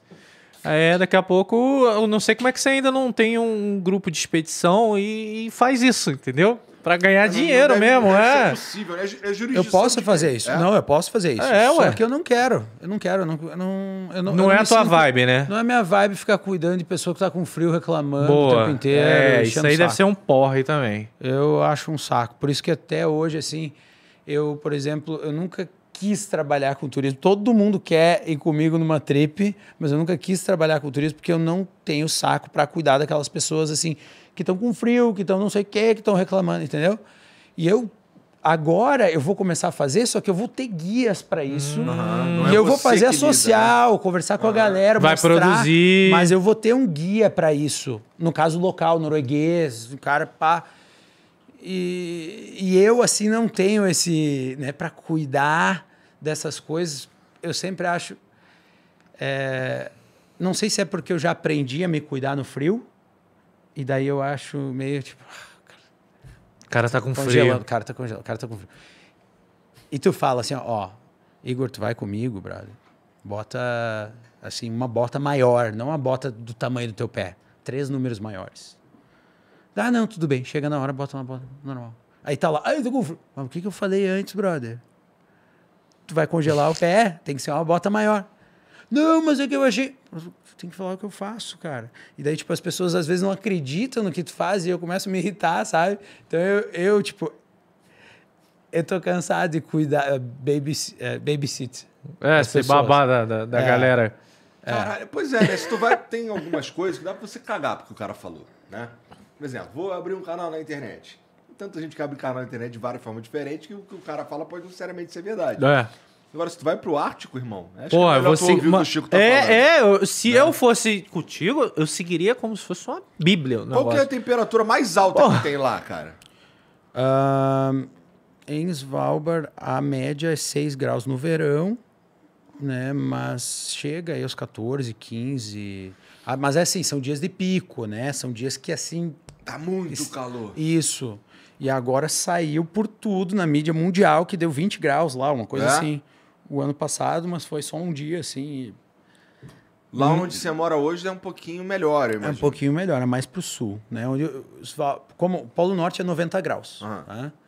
Svalbard são 78 graus. Tá, Onde eu moro agora são se- 68. tá. Ele tá ali na Ainda linha do é Ártico ali. Ainda é no Ártico. É. Mas assim, tu vê essas cidades do Alasca aí, que tu vê os filmes do Alasca, isso é tudo 53, 55, Tá. Entendeu? Aham. Pouca coisa tu vê ali para cima de 60 graus, né, ao norte. Então 68 é muito ao norte. E onde eu moro lá é, tem a corrente do Golfo. Então, a corrente do Golfo ela esquenta o mar, o mar vem lá do, do Caribe, uma corrente que empurra até o Ártico e nessa parte fica mais quente. E ela esquenta essa ilha onde eu moro. Então, por isso que no verão dá muita tempestade, fica o mar quente e o ah, ambiente está muito gelado. Então, tipo, no inverno tu tem velocidade de furacão lá o tempo inteiro, galera. É, encontro de temperaturas tem, tem muito isso também. Que Eu queria te fazer. carro eu, eu queria te fazer uma pergunta assim. Não voar. É muito curiosa. Tipo, aquecimento global. Como é que tá isso lá? Tipo, Não, você tá nesses rolando. no, nesses no, você tá há 11 anos lá, você sentiu uma diferença? Tipo, do primeiro ano até hoje? Cara, eu vou ter vários haters agora, é sempre assim, tipo, tu fala qualquer coisa, Claro, tu fala quem qualquer hater coisa, por causa cinco. disso? Claro, tipo, você mora de- lá. Por causa de tudo tem hater. Tu fala um negócio, tem 50 chato. pra- no sacolão hoje tem chato, Assim, mano. ó, tá derretendo tudo. Assim, não tem dúvida. Tá acabando o gelo. Tá se indo. Todo ano. Tem, É tem, que tem gente que realmente não acredita que isso está acontecendo. Vou chegar lá. Quando eu cheguei em Svalbard, tinham geleiras que estavam no mar, lá para dentro, assim, no mar. E hoje em dia elas derreteram, derreteram tanto, um quilômetro, dois para frente, que elas já estão na terra. Elas não estão mais no mar. Sim.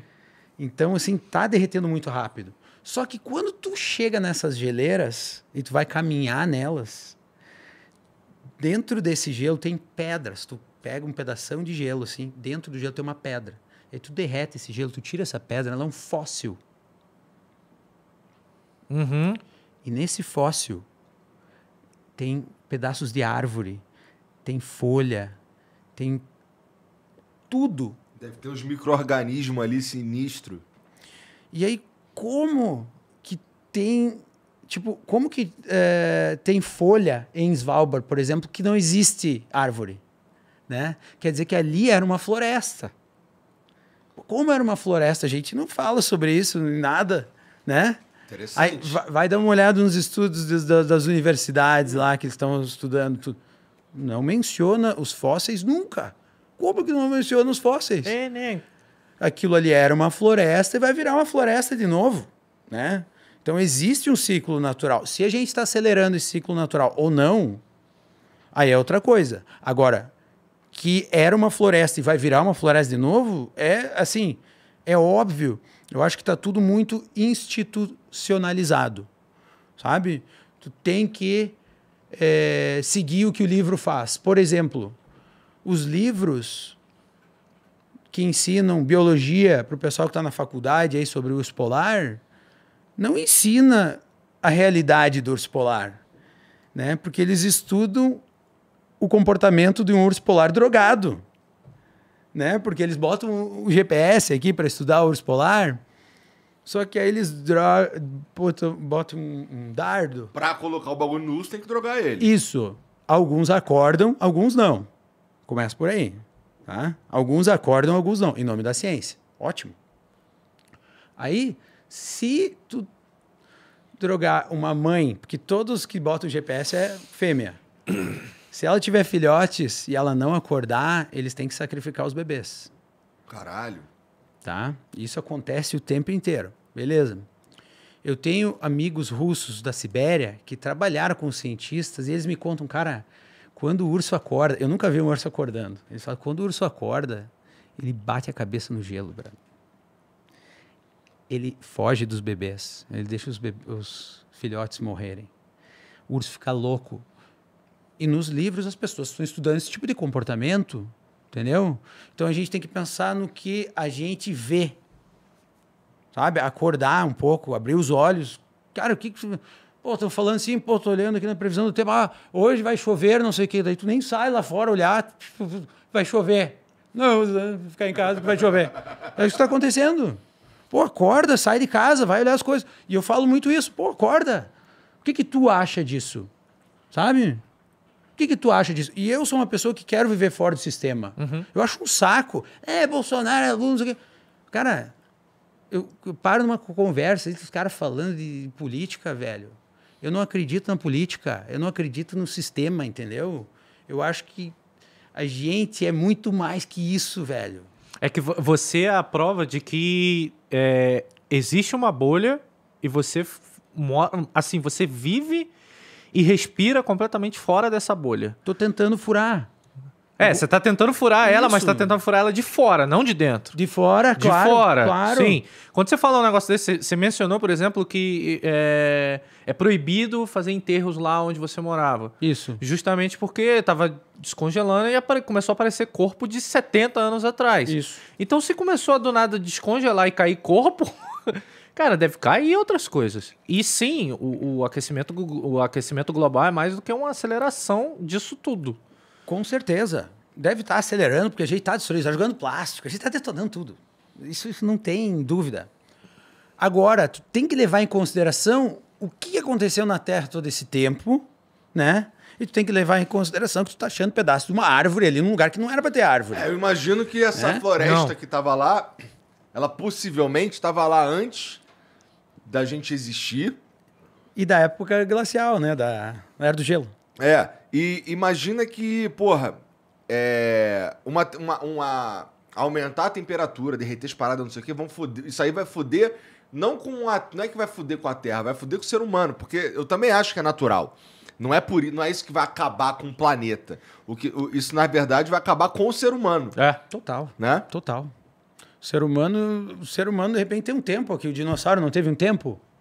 De repente, o nosso tempo é agora e de repente não vai ter como a gente sobreviver os gases do- no, no- no- na atmosfera. I, tipo, I don't know. Eu falando inglês. É não porque sei. Eu, eu, eu fico pensando, tipo, pesquisador. Pesquisador, com certeza, encontra um fóssil dele, ele consegue determinar qual é a idade desse fóssil. Entendeu? Ele, quando o pesquisador ele vai para um lugar desse, você falou que tem muito pesquisador que vai para lá. É, ele vai, ele deve encontrar algum fóssil, ele deve fazer alguma escavação, ele deve fazer alguma coisa do tipo. Claro, E claro que encontra. encontra. Cara, Claro é que impossível encontra. você não encontrar Claro alguma que coisa, encontra, velho. mas aí porque eu tô dizendo o sistema do negócio institucionalizado, tá? Tu acha que o vereador de São Paulo não encontra problemas na sociedade quando ele vai caminhar na sociedade aqui e vê um cara ali morrendo de fome? Oxe, é só ele ali. Ele não encontra? Não, não- não muito longe Tu acha daqui. que eles de repente não têm alguma coisa para melhorar isso ou para trazer esse problema aqui? Isso aqui é injusto, isso não é? Entendeu? A gente é institucionalizado. A gente está levando a instituição na frente do ser humano, entende? E o que acontece com as pesquisas hoje em dia é, é isso. É que tu leva a instituição na frente. Então, todas as pesquisas que são feitas lá e no, ao redor do mundo inteiro, inclusive aqui no Brasil, elas são bancadas. Sim. Então, quando tu vai lá, tu vai lá para provar um negócio que tu já recebeu. Diz assim, ó, "Ah, o negócio é o seguinte, tô aqui com uma pesquisa para provar que a mudança climática está afetando esse tipo de folha aqui. Vai lá e faz a pesquisa. Tu Vai lá para fazer isso. É a mesma coisa, quando eu quero fazer um documentário, eu tenho meu ponto de vista, eu vou ali fazendo para fechar com aquele ponto de vista. Eu não vou fazer uma investigação. É como o, o jornalismo. O jornalismo não vai ali para investigar um negócio. É muita inocência dizer que o jornalismo vai investigar e vai mostrar os fatos. Eles vão ali para contar a fazer um versão que bagulho- eles querem, velho. Vai fazer um bagulho totalmente enviesado, né? E é tudo assim na vida, né? No sistema, no sistema. E lá na natureza é a verdade. É o que é real. A única coisa que é real é lá fora, Se bro. tu der mole, o urso vai te comer. Isso. Acabou, né? Isso. Isso. Caralho. É, verdade. Tem É, não tem como você discutir, cara. Tipo, é, é, você tá falando um negócio muito que faz sentido agora. Se você encontra um fóssil, não tem como discutir que não teve alguma coisa Isso. ali. Ninguém chegou ali, botou aquilo dali e, e congelou semana passada. não tem por que É. fazer isso. Quando você fala, a gente tá em época de política, cara, a gente vê tanta opinião enviesada, tanto, tanta coisa, tanta pesquisa, tanta gente tentando provar a verdade, mas se você for muito a fundo, sempre tem um lado. Sempre. Sempre tem um lado, entendeu? Qual que é a Sabe qual que é o lado, qual que é a verdade? Não sei qual, que, qual é a tua idade. Eu tenho quase 42 anos. Eu tenho 33. 33. Desde que eu nasci, não mudou nada, brother. Porra, eu, eu falo a mesma coisa, Não mano. mudou nada. Eu falo a troca mesma presidente, coisa. troca não sei o quê, troca não sei o quê. Daí, ah, pô, isso tá mal, mas agora vai melhorar. Vai... não não quê. Pô, não acordaram ainda, brother. Não acordaram aí. Não acordaram, Brasil é não vai país mudar nada. do futuro. Entra um cara, sai outro, entra outro. Não vai mudar nada. Nunca vai mudar. Mas é. É a novela das oito, né? É a novela das oito. Esse É a negócio- novela das oito e o Vale a Pena Ver de novo. Isso, isso. Mas é, cara. Ou, eu já falei isso várias vezes, mano. Eu acho que até aqui em podcast. Eu tenho 33 anos de idade. Eu nunca vi melhorar, só piorar. claro. Mas tu acha que nos outros países melhor também? Tu acha que não tem essas coisas nos não países? sei, não sei. A gente, a gente tem. O, o brasileiro ele tem muita mania de achar que aqui é ruim pra caramba e lá fora é, é, é- é muito bom.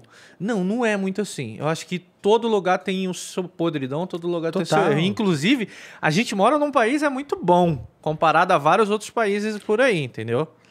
Nosso país é o melhor país do mundo. É tipo assim, tu tem tudo de natureza, recurso, É um país tropical. bom, tu tem é. tudo, tu tem tudo. Só que, muito obrigado. É, porque, cara, Não, mas o brasileiro ele não dá valor ao Brasil. E eu Mas- falo isso de mim. mas Eu é não dou valor ao Brasil, mas, mas é isso é- cultural. isso é cultural e, e a cultura é um produto, né, brother? Cultura é um produto. Bom, eu pego uma criança aqui pequena aqui e eu saio, por exemplo, tu sabe que na Roma antiga os pais levavam as crianças para ver os homens ser comidos por leões e era um programa de domingo familiar, Que velho. porra é essa? E daí as crianças achavam o máximo. E elas foram. E tu vai culpar uma criança dessa? Não. Eles foram criados assim. O que tu apresentar na realidade daquela pessoa é, desde o início, tu cria a realidade dela. É. Não importa o que. Entendeu? Se eu tivesse com uma cueca na cabeça aqui, vocês também, todo mundo, ia ser o normal. Usar a cueca na cabeça e não aqui embaixo. Entendeu? Isso é, é o normal. Então, ah, tu consegue apresentar uma realidade para primeira geração, para segunda geração, tu vai mudando e tu faz o que tu quiser, entendeu? E vai da gente começar a se conectar um pouco mais com a natureza, não vai ter outra solução para problema psicológico, para para guerra, para tudo. Se as pessoas não se conectarem com um negócio que elas são parte. Né? Quando, quando é que tu se ligou que, que era preciso se conectar? Quando, antes de tu começar a viajar por aí? Não, cara, eu acho que foi no Ártico, assim, foi é. lá, eu, eu, tive algumas experiências de, de quase morte, e isso mudou a minha vida. Mudou a minha vida. Porra, então me conta uma aí. É, tem várias, mas eu vou contar uma que eu já contei até, até no meu canal uma vez Conta que eu caí. que tu não contou então, porra. Com certeza ele tava com frio. Mas é, essa é emblemática, essa é tá. emblemática. Eu caí no lago congelado, tá? Eu tava a 70 quilômetros da civilização e tava tipo 20, 25 graus negativo. E se tu cai na água nessa temperatura, é muito difícil sobreviver assim, tipo, né? Ou tu tem alguém ali do teu lado com tudo já para te trocar de roupa, porque quando cai na água e tu sai. O problema é o molhado, né? A, a roupa congela rápido, assim, congela, né? E daí vai azulando o teu pé, né? Não, não corre mais sangue, tudo. E, e eu fiquei na adrenalina e eu pensei, eu vou viver, eu vou viver, mas ao mesmo tempo pensei, cara, que, que idiota, eu vou morrer agora, assim, assim né? Não pensei que ia ser assim que eu ia morrer. E a minha vida mudou muito ali. Eu fiquei pensando, cara, meu Deus, olha isso, né? Ah, as coisas que o cara tem que dar valor e tudo, né? E aí eu consegui chegar na cidade depois de muito esforço, dirigindo minha moto neve com o meu macacão inteiro com gelo, com as minhas botas com gelo dentro, o meu pé já destruído, as minhas mãos destruídas. Eu tenho muitas cicatrizes de, de, de queimar e congelar as mãos também. E aí, quando eu consegui chegar, eu pensei, cara, meu Deus, meu Deus. E, e aí eu cheguei na cidade. Quando eu estava chegando na cidade, é tudo branco, branco, branco. E tu vai chegando na cidade, tu vê um pontinho preto. E tu vai chegando mais perto, aquele pontinho vai aumentando, aumentando, aumentando. E de repente tu entra dentro, assim. E tu pensa, cara, é, olha só, os humanos se juntaram todos aqui, se ajudando né, né para sobreviver nesse negócio hostil aqui fora, né? Eles estão aqui. Mas isso aqui não é a realidade. Tu, tu vê que não é a realidade. E aí eu cheguei, pá, tomei um banho, estava feliz, estou vivo, pá, vou tomar um café. Aí eu saí, fui para um pub, tem um amigo meu. Cara, o cara podia estar tá morto e aí foi tomar um café. Fui tomar um café. Tu tomou um banho da morte, né? É. Sobreviveu. Isso. E aí fui num pub tomar um café, um amigo. Foi no meu. hospital? Não precisou ir no hospital nem nada? Que Nada. hospital, Nada, velho. Nada. hospital. Nada. Tu vai no hospital lá e tu diz, ó, oh, queimei aqui do frio, os caras. Não é nada, rapaz. Vai pra casa. Poder, é verdade. É verdade. Aí eu cheguei, comecei a conversar com um amigo meu, que era o bartender, no caso, serviu café, e o cara tava assim, depressivo, velho. O cara tava assim, ah, porque minha namorada, porque minha vida, porque não sei o quê, porque minha vida já era. E eu tava querendo contar do que aconteceu comigo, a coisa mais louca do mundo, assim. E daí ali me deu um clique, eu pensei, os problemas estão dentro daquela, daquele pontinho preto. Lá fora não tem problema. Não, os problemas reais estão lá fora. No pontinho preto eles são criados. Não tem nada que pode ser criado naquele pontinho preto que é um problema de verdade. Tu tá entendendo? A gente fica achando problemas. Pô, isso tá errado. Pô, aquele cara buzinou para mim. Pô, vizinho, sei o quê. Mas não é um problema. Não vai te matar. Entendeu? É... Então a gente cria os problemas e eu comecei a entender que não ia dar nada. Qualquer coisa que eu fizesse dentro daquele prontinho para ele não ia dar nada. Ah, o cara fala alguma coisa, vai a merda. Ah, não sei o que. É. Não vai dar nada. Então as pessoas me perguntavam assim, ah, mas tu, pô, deu tudo errado aí, tu tá assim, tranquilo. De fazer o quê, velho? Vou chorar agora? Vou morrer? Vou me dar um tiro? Não. Entendeu? Tem problema.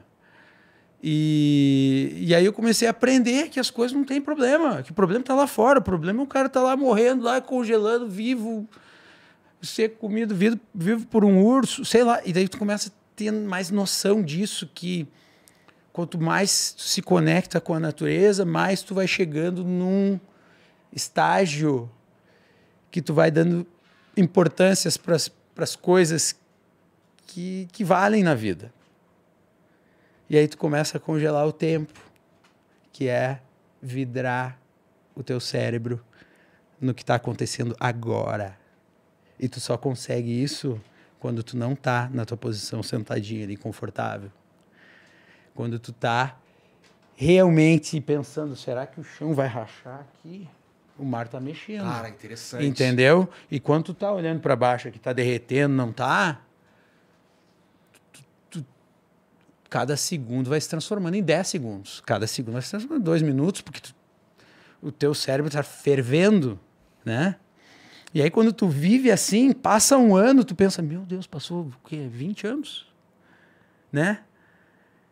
E aí veio aquele negócio, eu ligo meus amigos no Brasil, fazia, sei lá, na época, fazia, fazia 11 anos que eu estava fora. É, fora do Brasil, né? Fora do Brasil agora faz uns 14.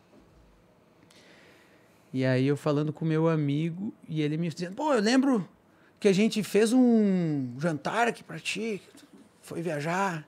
Lembra do jantar? E foi assim, pô, parece que o quê? Faz dois anos que tu saiu? Eu falei, né, na real fazem 11 anos. Mas na minha cabeça parece que faz uns 5, 40, 50. Eu nem lembro. Eu não lembro do jantar.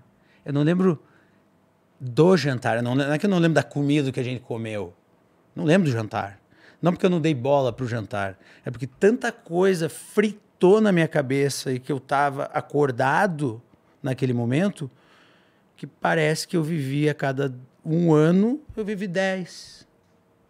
Vivi 8, entendeu? Normalmente é o contrário, né? Pra gente, tipo, Passa eu... rápido pra Passa caralho. rápido. Claro que passa rápido. Quando tu vê sexta-feira, quando vê Natal, quando vê Natal, É? vai lá pra ver. Vai lá, vai lá morar numa cabaninha lá que tu tem que pegar a tua água lá e tu tem que caçar a tua, a tua própria comida pra ver. Passa um ano lá. Passa o ano lá Tu arrombado. vai ver, pô, um ano que vivi 20. Né? É porque é tensão 24 horas, né? Porque o teu cérebro não tá no automático. Quando tu acorda de manhã e tu sabe que tu vai desligar o teu despertador, tu vai escovar o teu dente, tu vai caminhar no mesmo caminho que tu caminha todo dia, teu cérebro não ele, ele não É, tu faz tudo no automático. no automático porque ele já não funciona mais. Algumas vezes eu já saí daqui pra ir pra casa dirigindo. E aí, quando eu já tava chegando em casa, eu ficava, caralho, nossa, eu já dirigi até aqui. Eu vou pirando numas bagulho que assim. E aí, quando tu vê, cara, já, já cheguei. É que Estranho. você começa a fazer as coisas com o inconsciente. É tudo automático. É. Tudo automático. Qu- Quanto mais Caralho, velho que tá falando aí, cara, só me dá mais vontade de. me- Assim, é é que eu sei que amanhã já passou. Mas é uma vontade de, de, de, de Assiste, meu, assiste aí. meu canal que tu vai começar a se inteirar nessas ideias e de repente vai te inspirar a fazer alguma coisinha assim que te dê medo, um pouquinho, uma vez por semana, entendeu? Uma vez por semana, pô, pega teu carro, vai até o limite, não sei o que, na floresta e tal, bota teu carro lá e sai dar uma caminhadinha, uma caminhada assim para um lugar que tu nunca pisou e liga o cronômetro, sem olhar, não olha e depois quando tu quiser voltar olha pro. Tipo, Vai pensa. passado cinco minutos. Isso. Pensa quanto tempo na tua cabeça. Quanto tempo será que eu tô aqui? Uma hora? Meia hora? Sozinho. Cara, mas eu vou te falar. E aí, olha no teu cronômetro aqui, tu vai ficar apavorado. Isso, isso faz sentido pra caramba, porque quando eu voava de parapente, Ah, não adianta. Você tem que estar prestando atenção no É. que você tá fazendo. E, cara, é- era assim, chegava uma hora que eu tava cansado de voar. Aí quando eu. Ah, vou, vou pra solo. Chegava, mano, tinha passado 40 minutos. Mas eu pensei que eu tava voando, tipo, há 3, 4 horas, velho. Que é muita tensão, entendeu? É, a- ainda mais ali na Pedra Grave, onde realmente qualquer erro que você tem ali é, é- é- é chão. Você tem que ficar prestando atenção no que você tá fazendo, entendeu? Mas isso faz sentido. Total. Ainda mais ele. a- a- normalmente, pra gente, a gente leva algumas horas no dia isso quando você vai fazer alguma coisa. Mas o cara é 24 por 7, É. velho. Se ele der mole, um sopro de vento pode matar ele. Se ele não tiver com o agasalho correto. Entendeu? Como, é que, então. como, é, como é que é a tua rotina lá? Tu acorda, dia normal. Existe um dia normal na tua vida? Não, eu não tenho rotina. É. Eu vivi durante anos assim, porque como tu tem três meses e meio de sol o tempo inteiro, não fica noite. É só dia. Não vem à noite. Tá? Meia-noite, tá o sol lá. Duas da manhã tem sol. Sete da manhã tem sol. Três da tarde tem sol. Né? Então, eu comecei numas viagens que eu tava comendo quando eu tinha fome e dormia que me dava sono. Minha mulher não gostava, porque eu não criava rotina com ela e tal, tá? Mas é, também são experiências, né? Que tu tem que, tem que tentar, né? Se tu não vai fazer essas coisas enquanto tu tá vivo, vai esperar morrer para fazer depois, não, tem que testar um pouco, né? De tudo. Então, eu não tinha mais rotina. Às vezes ficava acordado de madrugada, dormia durante o dia, fazia um monte de coisa assim. E a mesma coisa durante a noite. Quando começa a virar a noite, fica escuro o dia inteiro. É, Meio-dia é escuro. Noite, noite. Então eu nunca tive assim uma rotina e daí cada vez era tipo eu tinha um tipo de trabalho, né? Alguém me contrata, por exemplo, eu fiz trabalho aqui para o Brasil para o Fantástico, uhum. por exemplo. Então, o Fantástico é fazer lá uma reportagem, eles me ligam, eu vou lá, agilizo tudo que tem que ser feito. Tem as motoneves, a gente vai gravar aqui. Eles não conhecem as localidades, eles não sabem o que ver. Então eu já deixo tudo certinho e eu ofereço os meus outros serviços, que é de cameraman, drone, não sei o quê, filme, som, tudo. Uhum. E, e aí na outra semana me liga de repente, sei lá, por exemplo, a Jameson, whisky. É, eu trabalhei na campanha mundial do St. Patrick's Day deles, eu era um dos produtores do. E aí é totalmente outro outro trabalho, né? O cara a gente tinha que chegar até vibes um... totalmente diferentes. Isso e, e, e carga horária, tudo, tudo, tudo, tudo. Então, às vezes tem bastante trabalho que é no, no escritório, as coisas que eu passo 30 dias direto, tipo dos 30 dias, eu passo um, dois dias que eu volto para buscar mais suprimento, comida, não sei o que, a gente vai lá para fora para filmar. Por exemplo, a gente fez um filme chamado Arctic Void, quem quiser assista, tá no, no Amazon, eu acho. É, ah. Eu sou um dos produtores, se chama Arctic Void. Ah. Eu não sei o nome em português. E é um filme de ficção científica de americano. É, é Arctic Void em português, né? Tô curioso agora, vou dar uma olhadinha aqui, Isso. só pra pinar é um, aqui. É um, é um suspense psychological thriller. É um suspense psicológico, é isso? E e a gente ficou, para vocês terem uma noção, na, numa cidade russa fantasma, filmando, tá? Sem internet. Sem internet. Então a gente ficou lá no meio do nada. Toda a equipe de cinema, coisa, filmando, filmando, filmando. E daí um dia deu um rolo lá e o, meu, o outro produtor americano, Grant, meu camarada, chegou para mim e falou: Chico, pá, a gente precisa de um negócio, não tem internet, não tem como sair. Eu digo, cara, tem uma montanha lá não sei aonde, que se o cara chegar no topo, pega o sinal. Daí ele, não, não, eu vou. Peguei espingarda e fui sozinho lá pra uma aventura também, curti, né, cara? Quanto eu tava de saco cheio daquela porra da, de Toda câmera, aquela né? galera, é.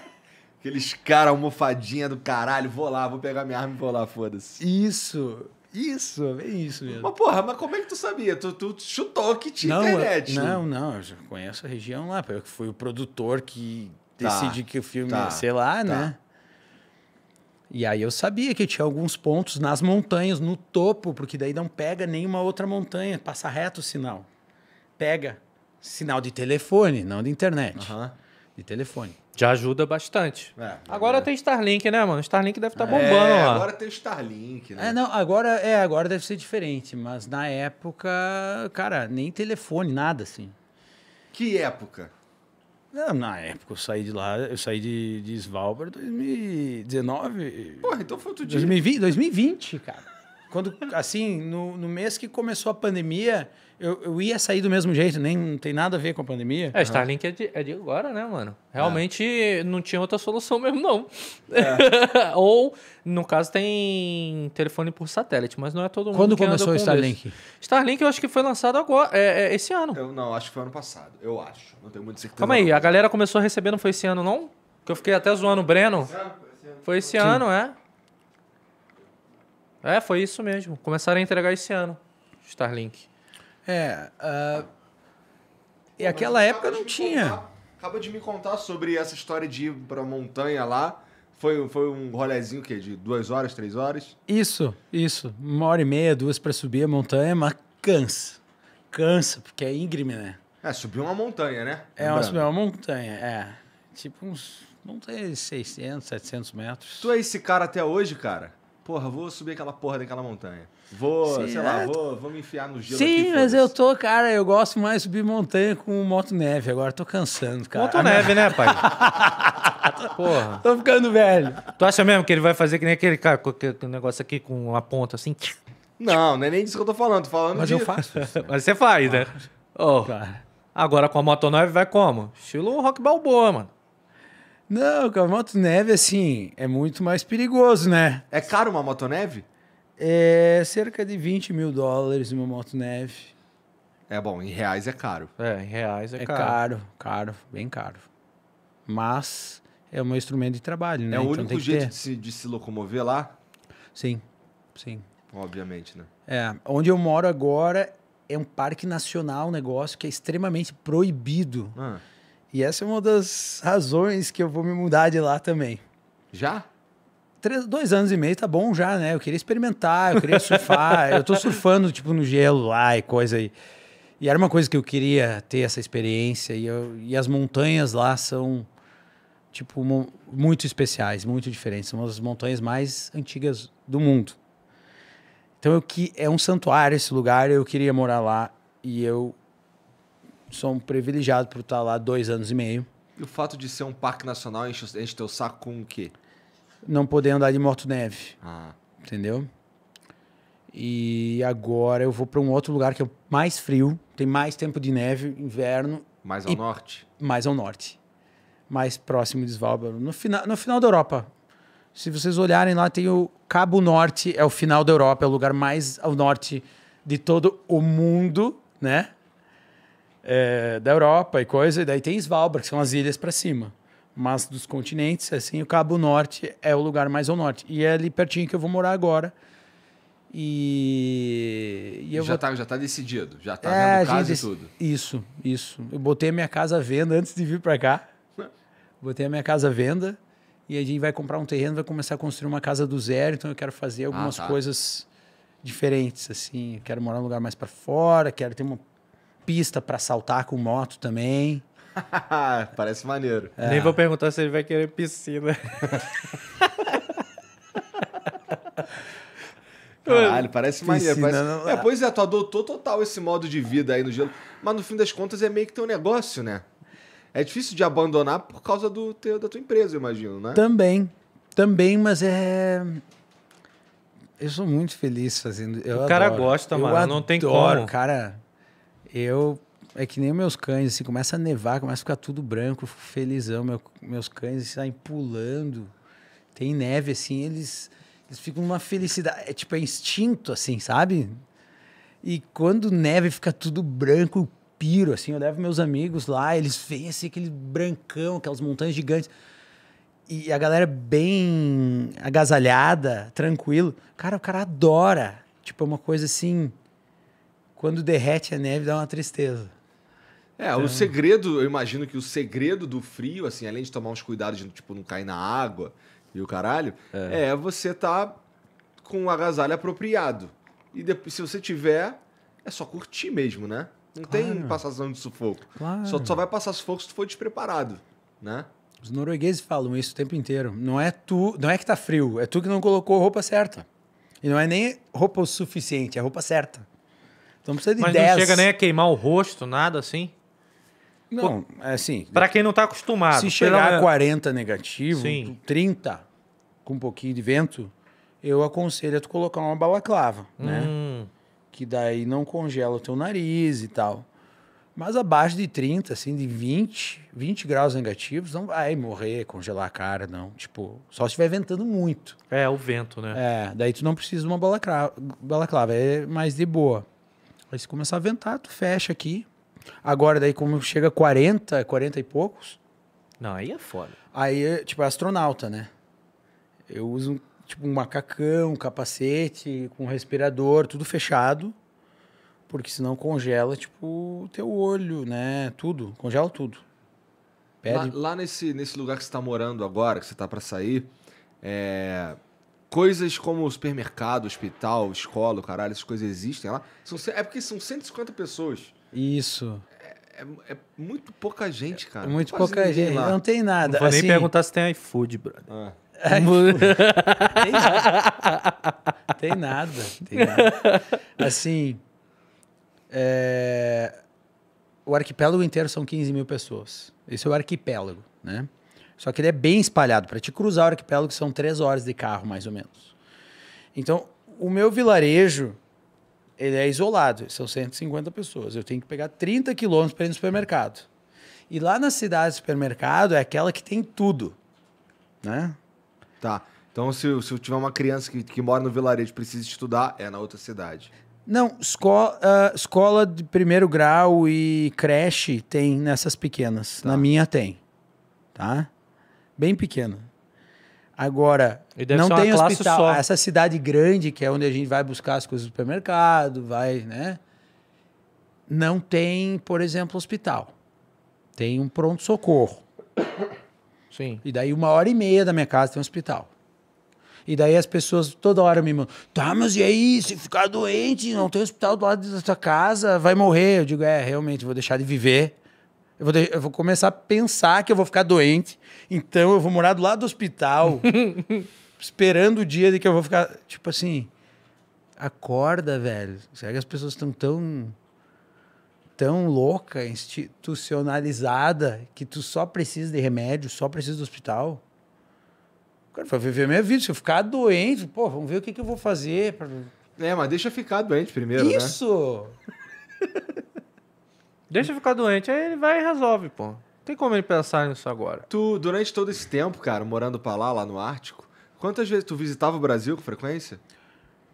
Como eu tava viajando muito pra Antártida e fazendo produção e viajando, viajando, viajando. Ah. Antes do corona, eu tava viajando, sim. Tava dando por ano duas, três voltas ao mundo. Porra. por ano. Então eu viajava muito, muito, muito. O tempo inteiro, hotel, avião e coisa. Então eu vinha duas vezes por ano pro Brasil tranquilamente, assim. Pô, mas então tu rodou o mundo pra caralho, né? Muito, muito. Existe um lugar que tu não conhece e gostaria de conhecer? Japão. Pô, também tem uma vontade no Japão, cara. Três pessoas aqui, eu acho que, né? Porra. Japão. O Japão, um abraço pra Cláudia que tá assistindo lá do Japão agora. É Ela tua- tá, ela tá acordada lá no Japão assistindo. Ah, lá agora. eu- É. Qual que é a tua é, pira pô. com o Japão? Nove horas da manhã. É só que tu não conhece? Não, é que é, é que é muito diferente a cultura, muito organizada. Tem, tem montanha, tem neve, tem onda, tem surf, natureza fenomenal do Japão. Eu, eu piro mais na natureza do que Tá. nas cidades. E também, claro, Tóquio, né, cara? Câmera. Eu sou viciado em câmera. Ah, é. Você vai encontrar uns negocinhos legais tu lá. também é. Eu, tipo, né? já. Então, vou, vou até te aconselhar. Quando você for, vai pra Taiwan também. Que Taiwan é da hora. Taiwan quando você tu traz. já foi, né? já. Tecnologia lá é, é bizarro. No sentido de você ver. Quando eu fui, fui pra Computex.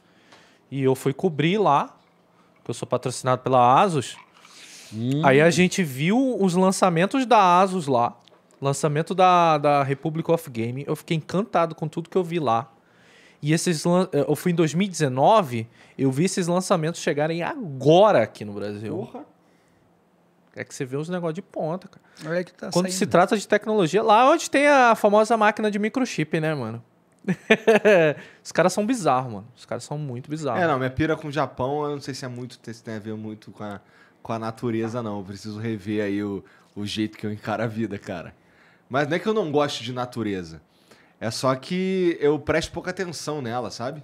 Não Isso foi te tudo- apresentado da É, maneira tudo certa. que- tudo isso que você tá falando aí é muito interessante, assim, de verdade. Porque, porra, é, por exemplo, fala pra mim de natureza, eu falo assim, ah, pô, eu gosto de natureza. Eu, é, eu, eu- gostaria muito de morar num sítiozinho no meio do mato, caralho, não sei o quê. Mas eu também penso em todos os confortos da cidade e em transportá-los pra lá e viver confortavelmente e fora da minha casa tá a natureza. Cara, eu vivo a minha vida assim muito confortável. Muito confortável. Vocês não têm noção. A casa do cara é um bunker. É. Você não tá entendendo. Não, eu vivo numa casa com tudo, né? Tudo e mais um pouco. Eu tenho meu, estu- meu estúdio, eu tenho, tipo, vidro, assim, eu vejo a aurora boreal dentro de casa. Quentinho, tem toda a tecnologia, entendeu? Tipo, tudo. Eu, eu tenho uma vida muito mais confortável lá do que na cidade. Eu, eu, pra mim, aqui não tem nada de conforto. Zero. Zero. Zero. Só tem desconforto. Só derrota. Só desconforto. Ontem eu tava numa festa, daí a namorada do meu amigo, né, foi me levar lá na. pra abrir a porta lá pra eu pegar um Uber. Daí ela saiu assim. Ai meu Deus, vão roubar aqui. Ai não sei o quê. Olha o celular. Ai não sei o quê. Eu digo, como é que. Mo... Como é. Co... Mas essa é a vibe, ô. Como? Né? Eu moro no meio do mato. Eu não lá. vou nem perguntar se lá tem delegacia de polícia. Cara, não fecha, eu saio viajar, a minha casa fica aberta, tá? Eu tô viajando agora, a minha mulher tá viajando, deve estar aberta a minha casa. Eu tenho vários drones, câmera, tudo, tá tudo exposto ali, qualquer um entra ali e leva. Na minha garagem lá, tá tudo aberto, lá, só levar. Carro, não, não, não fecha, deixa a chave dentro do, ca- dentro do carro. Não tem, não, nem passa pela cabeça esse tipo de coisa, né? Entendeu? Porra. Então, Isso, isso tu- é legal. bem, tu- tu- É ou não é conforto? Porra. É ou não é conforto? Tu sair de casa, tu, tu chega em casa, tu não, tu não tranca o carro. Tu não fecha a porta. Tu não, tu não tem chave. Tu não tem chave. Tu não sabe o que, que é uma chave.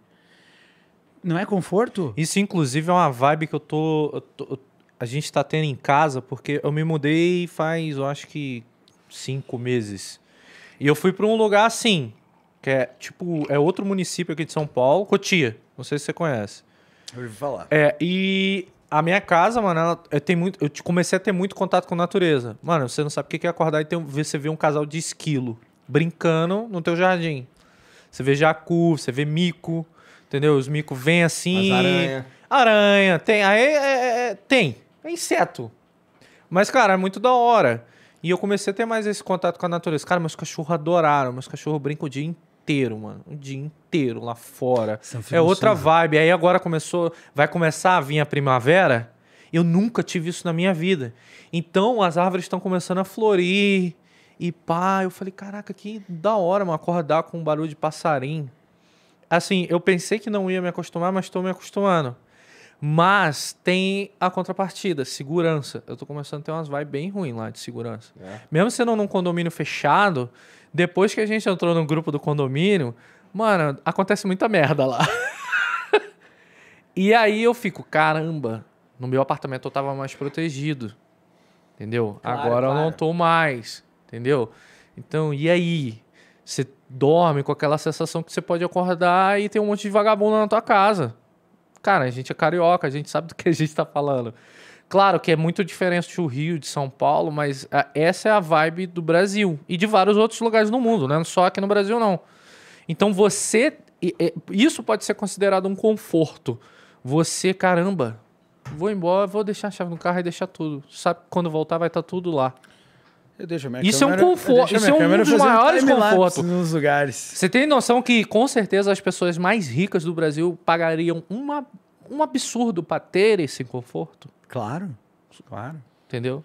Claro, e eu, eu- não entendia isso. Isso pra mim era um conto de fada. Eu não sabia, assim, tipo, ah, não, não existe. Mas agora é a minha realidade. Tipo, eu tô aqui agora, eu acabei de chegar no Brasil, faz três anos que eu não piso no Brasil. E daí, cada vez que eu fico um tempão fora,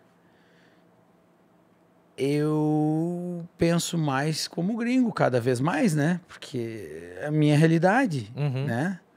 Eu nunca achei que isso fosse acontecer. Mas daí eu não entendo mais, assim, as pessoas assim, oh, não vou deixar meu carro aqui, meu Deus, porque o carro que vão roubar, porque não sei o quê. E, é, uma- é um instinto, é normal. Ah, não sei o quê, você tem que olhar para cá, tem que olhar para lá. Não, não faz mais sentido na minha vida, tipo assim, tá, mas se elas têm todo esse problema, pô, faz então o que for para morar num lugar que não tem. esse Mas é, é, é- mas é a bolha, ô, ô, é Chico. como a minha cabeça está funcionando agora, né? Não tem como eu controlar isso. Mas, ô, Chico, é a bolha. Não adianta. Claro. Quando a pessoa vive numa bolha, por exemplo, o Igor não vai deixar mentir, mas é, é, ele, ele discorda comigo, mas quando eu morava no Rio de Janeiro, eu achava que o estado do Rio era o melhor estado do Brasil. Ele sempre achou que era uma merda, né? Eu achava que Passo Fundo era a melhor cidade do mundo. É, morava eu lá no achava que era- Sul. aí eu tinha comecei- Eu comecei a viajar, eu comecei a ir pra outro estado, eu comecei a fazer evento e tal, vim morar em São Paulo. E, cara, não é. Não é. Não é o melhor lugar. Ele sabe disso agora. Pergunta pra gente se a gente volta a morar no Rio. Eu. Mas nem Faz um ano que eu não vou pro Rio. Mas nem só o Rio. O negócio é o seguinte. Não, mas é, o, o- que eu quero explicar é tipo o lance da bolha. A gente vive numa bolha, por exemplo, é, falando de violência, o Rio de Janeiro é hoje um estado violento, entendeu? Mas lá, quem tá no Rio, quem tá morando no Rio, é banal, é normal. né? Tanto que quando você fala para outras pessoas de outros estados, o que acontece no Rio, as pessoas ou primeiro acham que você tá mentindo, ou que você tá exagerando, mas não, é a realidade de lá. É banal, entendeu? É que nem, por exemplo, pra você lá é normal um urso de vez em quando pegar alguém. pra gente é assustador isso. Caraca, um urso, cuzão. Entendeu? Sim, mas é. é- Mas é você dentro da sua bolha. Exatamente. Exatamente. A- a- Eu acho que a explicação é essa. Quando tu vai ampliando, tu, vai, tu muda de cidade, tu amplia o teu conhecimento e tu amplia o teu a tua consciência, né? Porque tu é a tua consciência, não é mais tipo se eu fizer um furo no teu cérebro, teu teu corpo continuar vivo, tu tá vivo, tá inconsciente, não. Tu é, é a tua consciência, tu é o teu cérebro, tu é o o teu eletromagnetismo que está fazendo os teus pensamentos. Tu é isso, né? E Isso vai ampliando ao momento que tu vai conhecendo coisas novas. Tu vai ampliando o teu campo eletromagnético do cérebro quando vai aprendendo. Por isso que eu achava que a minha cidade do interior era a melhor do mundo. Não é que não é. Não é que é ruim a cidade. É porque eu não conhecia outra coisa. Eu não achava o máximo. outra coisa. E daí eu fui para outro lugar, já, nossa, eu mudei para Porto Alegre, nossa, Porto Alegre era o máximo.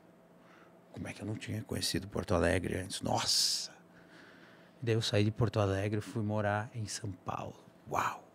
Daí eu era comissário da TUC em São Paulo, eu achava o máximo. Vi- daí eu viajei, acho que eu viajei de avião pela segunda vez na minha vida. Eu já era comissário. Segunda vez. Trabalhando já, né? Nem sabia o que estava fazendo lá.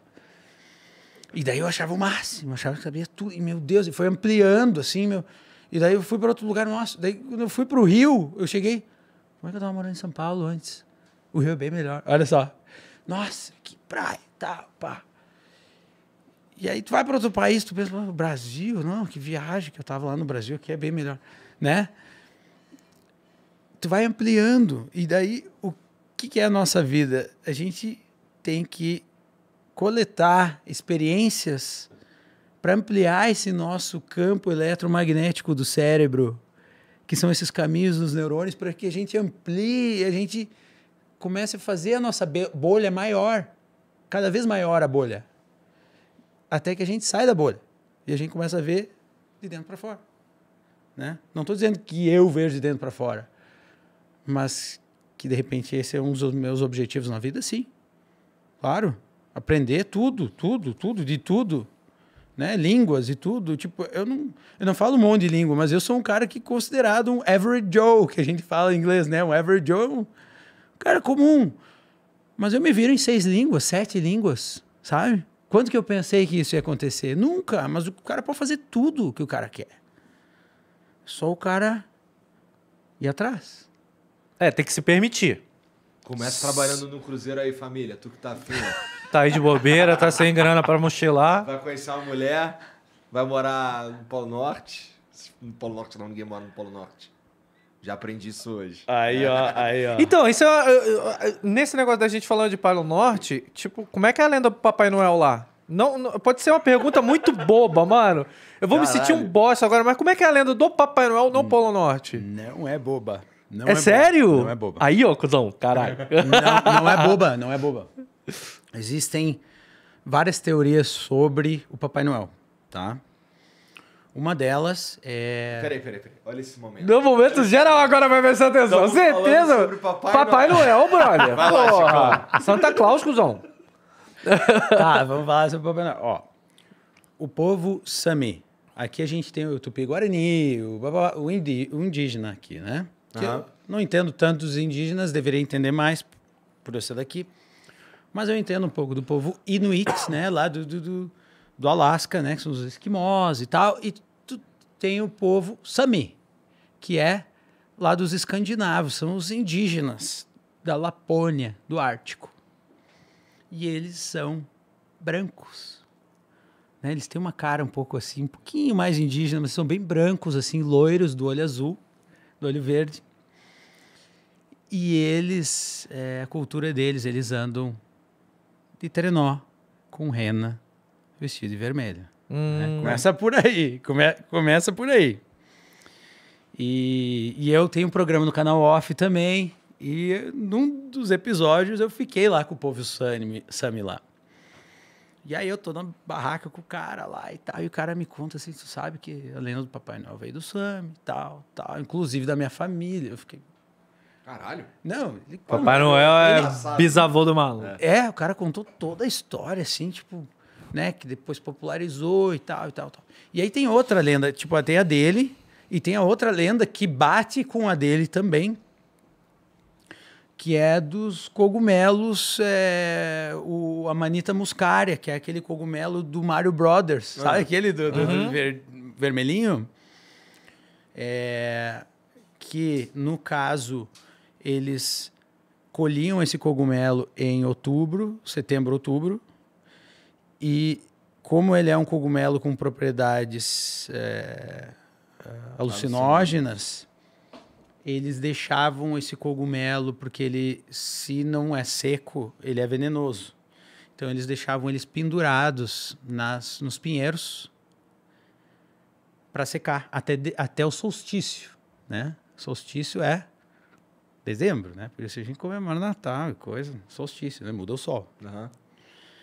Então, até o solstício, eles deixavam secando esses cogumelos no pinheiro.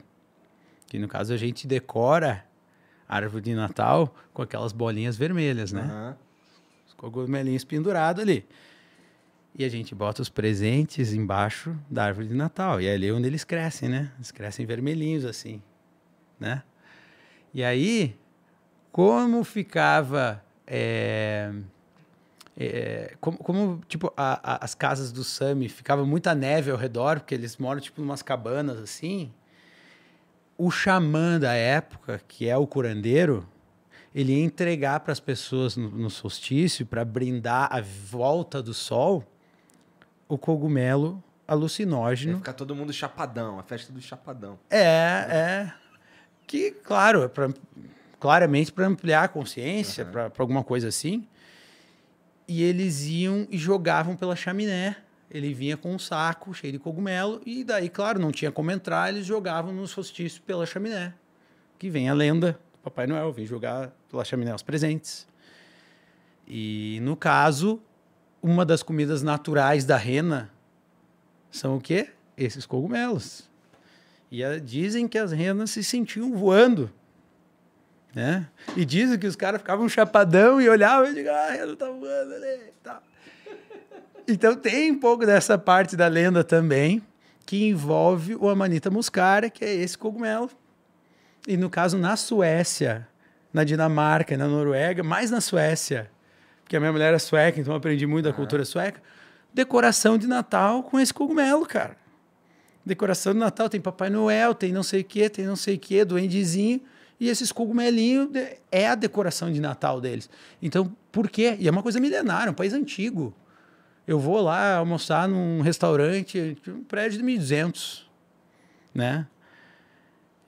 Desde quando vem isso, né? Então, alguma coisa tem relacionado também a esse cogumelo. Que vem do Polo Norte. Então Não é saiba. do Polo Norte, cara. Não, calma aí. Ártico. Ártico. Do Ártico. Mas a lenda. não, quanto mais norte lá, o Papai Noel tá lá. E sua fábrica de brinquedos. Agora que a gente descobriu que é cogumelo. É lá na Lapônia, lá, É lá na- Papai Noel, né? Caralho. Porra, muito interessante, cara. Tua vida deve ser uma parada assim maluca mesmo. Deve ser um bagulho. Todo dia é um dia, né? Que tu tava falando aí que não tem rotina. Não tenho, não tenho. Agora eu tô editando mais vídeos pro YouTube, eu passo bastante tempo editando, mas eu acordo de manhã assim, o que eu vou fazer hoje? Não sei, sabe? Tipo, vou dar um rolê na natureza, vou dar um rolê, vou fazer um sup quando é verão, Quando é inverno, eu pego meu esqui. Eu tenho dois cães é, Malamute do Alasca, que são tipo esses cães que puxam trenó. Aham. Então eu tô treinando eles, comandos e tudo, e eles me puxam de, de, de esqui, né? Porque a moto não pode. Porque a moto não pode, e eu tô treinando eles para fazer expedição mais para fora, mais para O que, longe. que tu fez tua moto? Vendeu ou tá guardada? A minha moto eu vendi, eu vou comprar uma nova agora. Aham. Agora até dezembro eu vou comprar uma nova. Quero comprar uma Uma moto dessa chega. venenosa.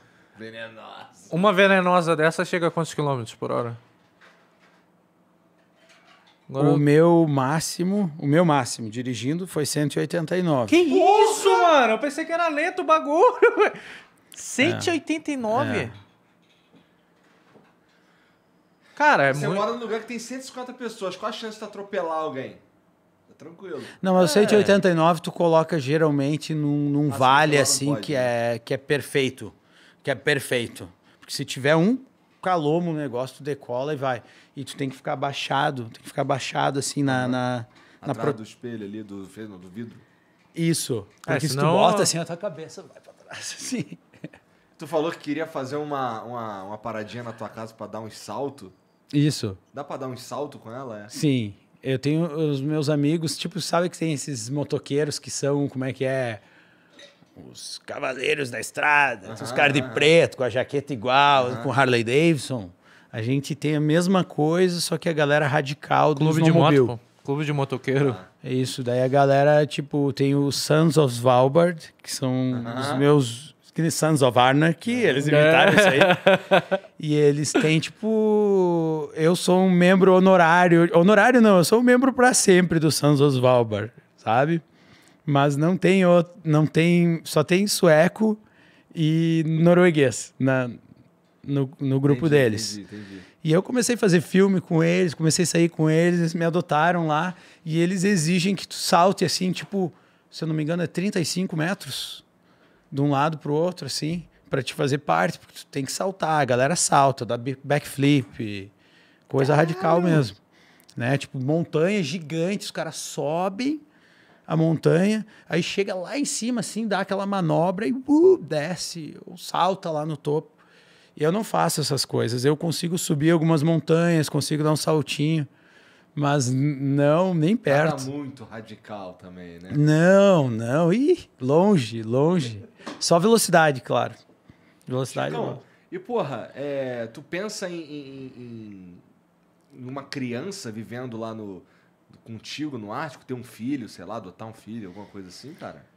Sim e não. Eu nunca pensei, nunca quis ter filho, É. sabe? E todo mundo me pergunta de filho, porque a gente está chegando, eu e minha mulher, numa idade assim que tá no limite ali, vai ter filho, não vai, sabe? E, e a gente também tem essa dúvida. Mas é bom lá para criar filho. é bom? É bom, é bom. A criança vive solta, feliz. Sai brincar, sai lá, vai tranquilo. Entendeu? Claro, por exemplo, Svalbard, ela sai tranquila dentro dos limites da cidade, né? Elas, a criança não pode sair pro... Porque tem urso pra caralho. Isso pode acontecer, né? E, pô, tu, já, tu nunca viu, tu nunca viu uns, uns discos voador, umas paradinhas assim lá, não?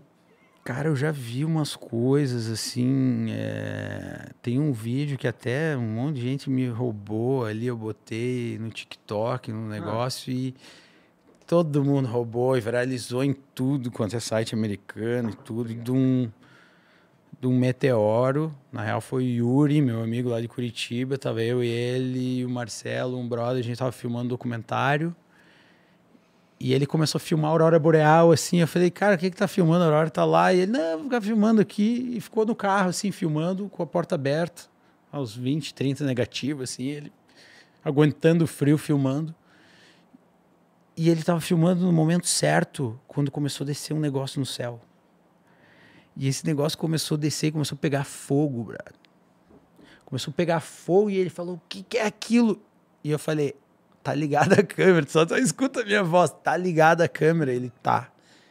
E aí tu vê aquele negócio caindo, caindo, caindo, e ele começa a pegar fogo e a gente tá andando junto com o negócio, assim.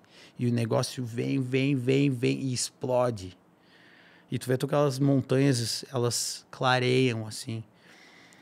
Cara, pode ser um Explodir meteoro. É estranho, né? É, Ah, devia ser um meteoro, mano. isso. É, é que o meteorito, ele, ele só. Eu, eu imagino, né? Eu não sou, não sou gordão foguete. Mas eu imagino que ele, ele, ia- ele, ele vai se. Com o atrito vai se, se deteriorando até sumir. Não, não, isso- não, ele tem, tem meteorito que chega e arrebenta o sol. Tem várias crateras de meteorito por Não, aí. tá, mas no caso ele explodiu no céu. Aí explodiu no, céu? No céu. Assim, puf, no no céu. céu. Nossa, Então, é aí não, não. Ele, ele- ele- Explodiu no céu. arrebenta Não, a Que galera pode achar aqui no- nas minhas redes, vai no YouTube, escreve agora. meteoro lá, tu vai ver direto. É uma coisa assim.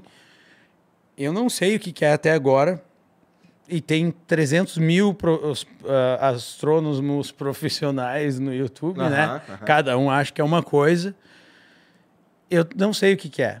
Mas também eu já vi vários satélites. Satélites tu vê todo dia, porque lá eles passam mais baixos, assim, né? Então tu vê, tu vê o Starlink, tu vê os satélites, tudo. Tem o Starlink filmado. Tudo. Agora, eu já vi satélite mudar de direção. Como assim? Satélite não muda de direção. O que, que você Satélite. quer dizer com isso? Porque são É, estrelas. daí- são, É igual- Fica em órbita, Não, mano. tá, mas o que, que você quer dizer com mudar de direção? Qual foi o movimento que ele fez? Assim, Entendi. e daí eu não entendi mais nada e eu não sei o que, que, O que, é, que você cara. tava usando, mano, nesse Eu- dia aí, é? O cogumelo do. do- do, do Mário, do Mário, é. Que erva é essa, velho? Caralho, que doideira, cara. É, eu já vi mudar de direção. E daí, tipo. E meu pai acredita muito, né? E daí meu pai me pergunta, e aí tal, já viu alguma coisa? Eu falei. Pô, pai, eu vi umas coisas mudar de direção aí que eu não entendi, eu não entendo, eu não entendi e não sei o que, que é. E não sei, né? Eu não sei se eu acredito, se eu não acredito. Eu acredito que de repente tenham Eu outras. vi um bagulho, mas como eu não sei o que, que é, eu também não posso afirmar que é. Exa o que é, É. né? Ninguém sabe o que é. Ninguém tá lá em cima para ver. Então, alguma coisa existe, né? Que sinistro, cara. Cara, um Maneiro. satélite mudar de direção é zoado. É zoado, né? Porra. Assustador. De repente não era um satélite. Não sei, cara. Aí que tá, tem isso também. De repente não era. Ainda mais os relatos, né, que eh, naquele dia a gente estava até falando com o Bock de, de nave que vira a 90 graus. Rapidão. né? Rapidão. Então, caramba. É, esquisito. E isso é bem, bem, tipo, quando tá frio mesmo, não tem umidade. Então a tua visibilidade é muito maior. Por isso que tu vai no deserto do Atacama, que é um dos melhores lugares para visualizar as estrelas do mundo, é muito seco, né? Então tu tem a visibilidade. E no Ártico é o deserto, Svalbard é o deserto ártico, É, né? é parecido. É parecido, não chove, não, não, não neva. Não neva nunca. As pessoas pensam, ah, neva horrores, não neva nunca. Neva um pouquinho assim e fica um mês assim sem nevar, daí neva de novo, fica, porque não derrete a neve, está sempre frio, né? Entendi. Então, já que, já que a gente entrou nesse assunto, eu vou até te perguntar. Deve aparecer muita gente querendo fazer expedição maluca lá atrás do Pé Grande, atrás do Abominável Homem das Neves. Vai falar que. Mano, com certeza tem os caras muito egocêntricos que vai atrás dessas paradas, velho. Eu duvido, cara. Ninguém é tão burro. Vai. Agora eu vou perguntar pro cara. Que ele tá lá todo dia, deve aparecer cada coisa pra ele lá, mano. E aí? Aparece uns pedidos malucos assim? Uns pedidos bem loucos, assim. Ninguém é tão burro. Ah, tá. Pô, pé grande é pra chorar, né? Não é, cara? É porque, cara, assim, Não. beleza, tem gente que fica correndo atrás de OVNI que nem um louco aí, e várias coisas acontecem. Mas pesquisador que vai pesquisar fóssil, alguma coisa assim, que vai atrás de alguma lenda, que vai atrás de alguma coisa assim. Pode ser assim que tenha. Pé tipo, grande a gente exagerou aqui, mas. Tem umas rochas lá em Svalbard que tem é, tipo a pegada assim no dinossauro, assim, sabe? Tipo como se fosse lava antes e esse bicho gigante botou a pata assim e tem a pedra lá, assim. Então tem gente que vai atrás e eles acharam o maior dinossauro da Terra lá, o, a alçada inteira. Porra. É, um bicho anfíbio, assim. Metade da terra, metade do, do mar. Com uma boca gigante, assim, tipo um... Então tem muita gente que vai procurar coisa de dinossauro e tal, mas não pé grande, essas coisas. Aí é ir vi. longe demais, né? É, é, é demais. Mas, Chicão, porra, é, é, pela tua empresa lá, sobre fazer esses filmes e tal, não sei o quê, qual foi o que tu fez que, que é o mais maneiro? Ou qual que era o mais desafiador? Pô, cara, teve vários, é difícil. É porque tu tá fazendo isso há muito tempo já, né? Tempo, tempo. Eu comecei a fazer em 2012, Tem 10 anos. é, 10 anos. É, E você tá no Arte com a 11. isso, isso, isso. Eu comecei a filmar é, um ano de- direto, quando eu cheguei, né? E, e daí quando tu tem a câmera e quando as pessoas veem as tuas imagens, porque a minha história foi o seguinte, eu comecei numa trip com os amigos meus no meio da madrugada e a gente quase atropelou ursos, quatro ursos. Do nada, eu a cento e poucos por hora e meu amigo na garupa ficava me batendo, assim, me batendo, vai bater, vai bater, o quê? Vai bater o quê? Eu olhei pra frente, tinha urso, assim, quatro ursos e eu tentei desviar deles, quase dei no meio. E daí ali eu consegui fazer umas imagens muito loucas ali. E ali deu, abriu para mim o mercado, assim, as pessoas, né, meio que viralizou, não tinha muito, era só Facebook mais naquela época. E foi por tudo a minha imagem e eu comecei a ganhar- receber muito trabalho, proposta de trabalho ali Pra filmar urso. para filmar tudo, tudo, porque não, de repente não tinha alguém com uma qualidade técnica e uma, um olho para filmar as coisas e que também queria aguentar, porque dói muito a mão, né, cara, muito a mão. né? Porque tu usa, tu usa aquela luva inteira, que é o mittens, Ah. que a gente chama, que é vai aqui e vai aqui e tu, tu não pode usar nada embaixo, não uma luvinha embaixo, porque tu tem que deixar os teus dedos juntos, que um esquenta o outro. E assim tu não congela. E aí quando tu precisa fazer um negocinho na câmera aqui, tu tem que tirar aquilo ali. E aí a tua mão tá quentinha, tu tira, tu bota na câmera, gruda teu dedo na câmera, velho. Que nem botar a língua num Que nem o Lloyd no Debi Lloyd. I- igual. Às vezes gruda, tu bota assim, o calor da tua mão faz um um anel assim de gelo e dá uma grudada, sabe? E ali tu sente um espinho na mão assim, tipo um mesma coisa que colocar num- numa brasa ou num cigarro, alguém fumou um É a mesma cigarro, coisa que mete a pessoal- mão assim, É. igual. E sai uma bolha e machuca. Então, tipo, tem pouca gente que Que tá afim de fazer essa porra. tá a fim de fazer, exatamente. Entendi. Isso. E se tem muito problema com o equipamento eletrônico lá? Porque, Ah. assim, eu fico me pensando, beleza. É a motoneve, cara, com certeza. O líquido do radiador deve ser diferente. Eu acho que nem usa radiador, se duvidar, não sei. Mas, assim, eletrônico, câmera que tem sensor sensível, essas coisas, tem pro- muito problema de quebrar ou danificar? Bateria, deve ser uma merda lá, cara. Congela.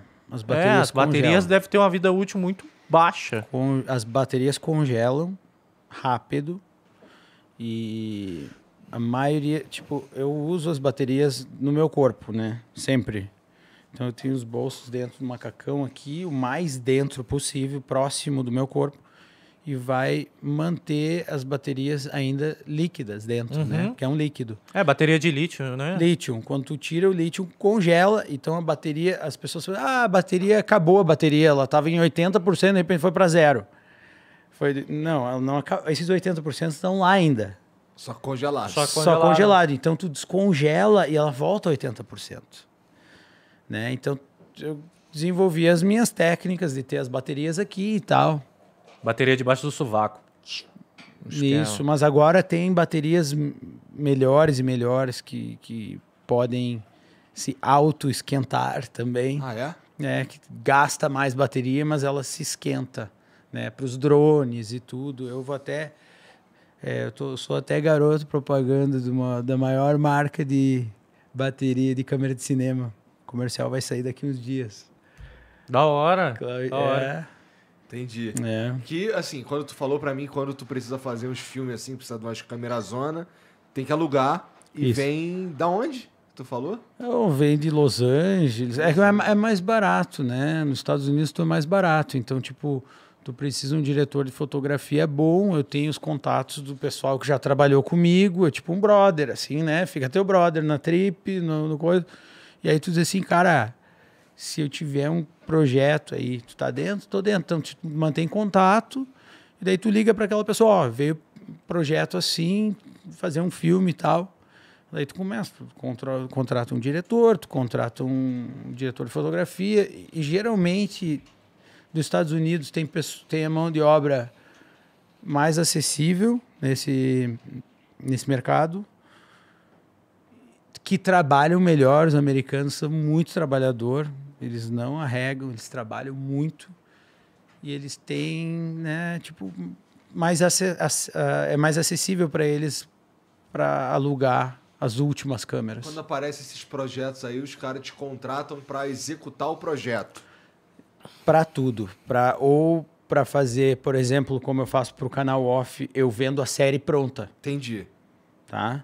Mas, por exemplo, como a Jameson me contratou para organizar o comercial deles. Então, eu não opinei em nada de como o comercial ia ser, porque eles falaram para mim: tudo bem, tu vai ser o produtor, beleza, só que o diretor é nosso.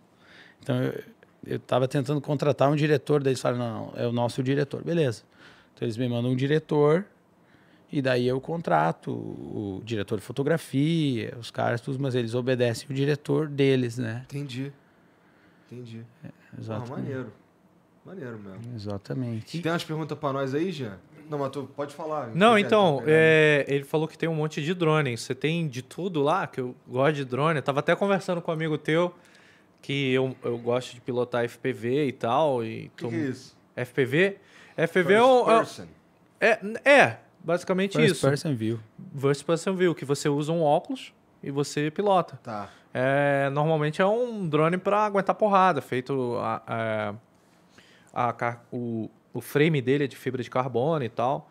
E você curte essas paradas lá, pô, deve ser mó da hora voar FPV lá, cara. Eu voei FPV acho que uma vez, agora um- esse FPV novo que acabaram de lançar, que é Ah, meio sim. FPV e não é. É, ele, é- ele, é- ele é um assim? Cineup, né? Isso. Da- é o Avanta da, da DJI que Isso. acabou de ele sair. é mais ou menos. É porque as- os produtos da DJI, eles não são assim drone Ó, tu não mesmo. fala mal da DJI, Não, não, não, não. Ele gosta. Não tô ele falando mal da DJI, não é isso. Não é isso. É que um drone, por si só, ele, a- o jeito de você controlar um FPV é completamente diferente de controlar um da DJI. O legal do drone da DJI é que ele é muito acessível ao público, né? Então eles vieram com a, a proposta dele de FPV, que bem ou mal é simples pilotar, se você for comparar com o FPV de verdade. E a mesma coisa o Avanta agora É também. diferente. Ele é muito a estável. DJI, eles fazem câmeras que voam, Sim, isso. Ah, tá. É. né? Isso é a de DJI. Mas assim, o drone ele tem que ter uma segurança, porque senão essas câmeras vão quebrar muito fácil. E é um negócio muito caro. É bem mais caro do que um FPV, por exemplo. Entendeu? Exatamente. O FPV é mais a pira de tu entrar nos buraquinhos e voar e tal. É, é, você ter o controle total do, do, do drone. Se você for pra direita e só pra galera que tá em casa entender, tipo, quando você tá pilotando um FPV, se for no modo acro, quando você vai pra direita, se você não voltar pra esquerda e nivelar, ele vai pra direita pra sempre. Um drone da DJI não, você vai pra direita, soltou o negócio, ele estabiliza. Entendeu? Então, é muito isso. Aí eu queria saber de você, se, se você curte mesmo essa parada, como é que vai é? Falar, ó. Hum? É, vai falar. Ahn, FPV, cara, eu não tenho muita manha, entendeu? Eu não posso dizer. Eu acho.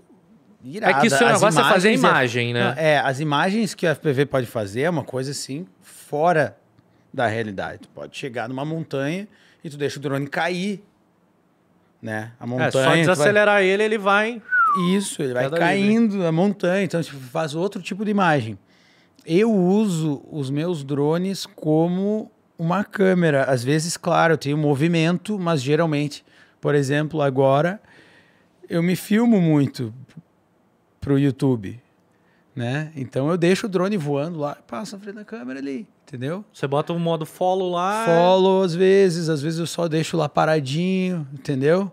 Para usar uma câmera de um ângulo diferente. Por isso que eu gosto, por exemplo, do Mavic 2.1, porque Eu tenho dois. O Mavic 2. eu uso o 2.1.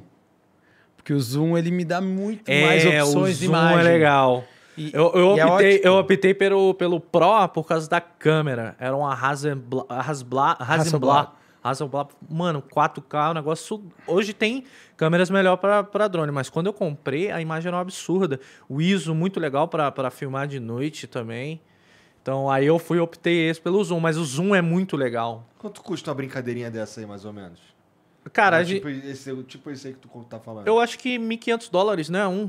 Cara, convertendo para real fica um absurdo. Se você for comprar aqui é um negócio absurdo. Mas eu acho que um Mavic 3 tá uns 1.500 dólares, não tá? Capaz, bem mais, cara. É? É? Não, não tô mais, ligado. bem Porque o mais, último que eu tipo, comprei mesmo foi o 2. Dois, dois mil dólares eu Nossa. acho que tu paga num, num normal e daí depois...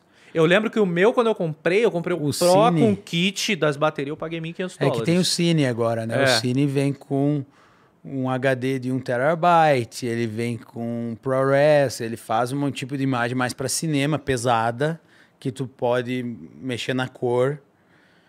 E, e ele é bem mais caro. Lá onde eu moro, ele custa 5 mil dólares esse. É. Aqui no Cara, Brasil, meu amigo. é, vou é- pesquisar até é agora aqui mim, pra gente É saber. pra você, né? É, é. Sou eu que uso. Quem usa é você, né? Isso, isso. Tu ia usar um DJI Mini, um pequenininho, Aham. assim, que faz umas imagens iradas, mas não vai gastar tudo aquilo também. É que eu preciso, às vezes, de um drone que vai aguentar um pouco mais o, o, o- não só o frio, mas o vento, né? Quanto menor o drone, mais ele vai com o vento. Olha só que loucura. O que eu tenho, ele, ele nun, eu nunca vi ele baixar de preço, ainda mais porque o dólar aumentou e tudo. Cara, no Mercado Livre tá 18 mil dólares. Quer dizer, de- não, 18 Ah, mil bom. reais. 18 mil reais. Ele sempre aumentou de preço. Mas assim, cara, tem. Hoje, o legal é que tem várias opções. Na época, quando eu comprei o 2, não tinha o Mini ainda. Mas hoje tem o Mini, o Mini 3, ele. Mano, é muito legal o Mini 3, entendeu? Saiu o Avanta agora, que ele é como se fosse um Cine Up para você fazer várias imagens bem próximas de um FPV também. Então, quando se trata de drone, cara, hoje cada lançamento é uma tecnologia muito superior. Cara, nem fico falando essa marca aí, porque eles não me patrocinam, não patrocinam o É. programa, não patrocina ninguém, né? O cara só gasta dinheiro com eles, tô cansado de gastar dinheiro várias- e não ganha nada. É, tem várias outras marcas. Mas, cara, é, pô, você tá lá, velho. Eu fiquei imaginando agora, porque você falou que é seco. Pô, é, é próximo, assim, você deve ver umas estrelas muito da hora, velho. Eu fico imaginando você fazer um time-lapse. É, é, é, tipo, porque, bem ou mal, a gente é, pro- é produtor de conteúdo também. Então, mas a gente faz. É uma vibe diferente, mas não deixa de ser produ- produtor de conteúdo. Mesma coisa. né? Então você fica imaginando, cara, um time-lapsezinho de uma câmera parada, cara, um movimento de estrela que você deve ter.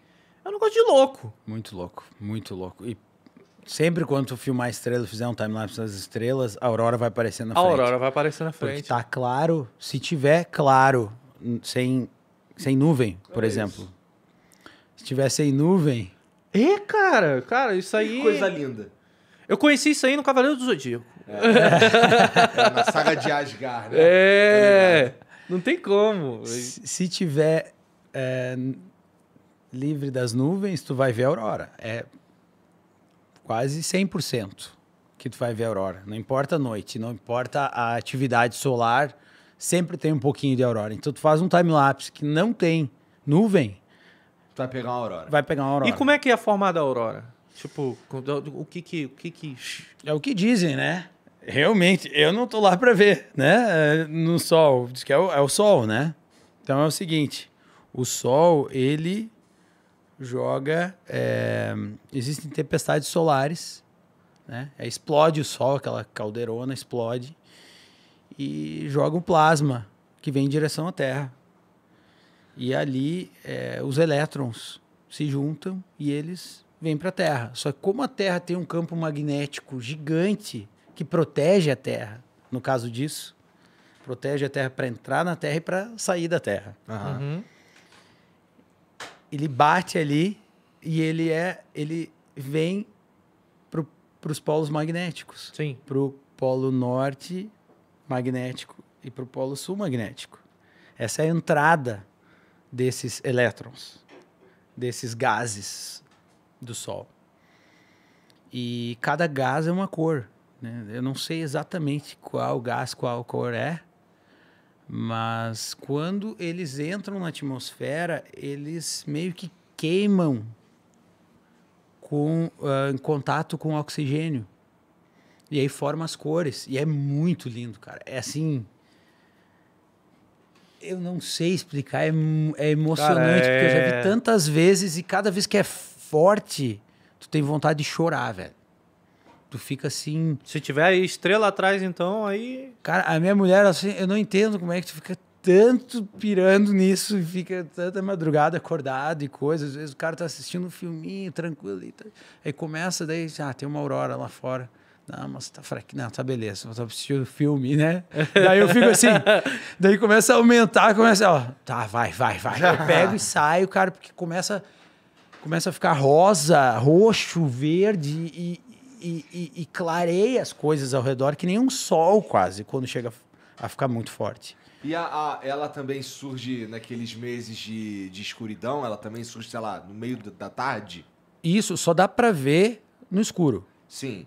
Mas ela, ela até nesses meses de escuridão, então, você tem uma chance multiplicada de ter uma aurora boreal foda. Isso, só nos meses de escu- escuridão tu pode ver. Quando começa a clarear, acabou. Sim, É que lá, quando meu ponto clareia, clareia 100%, sim, é. sim.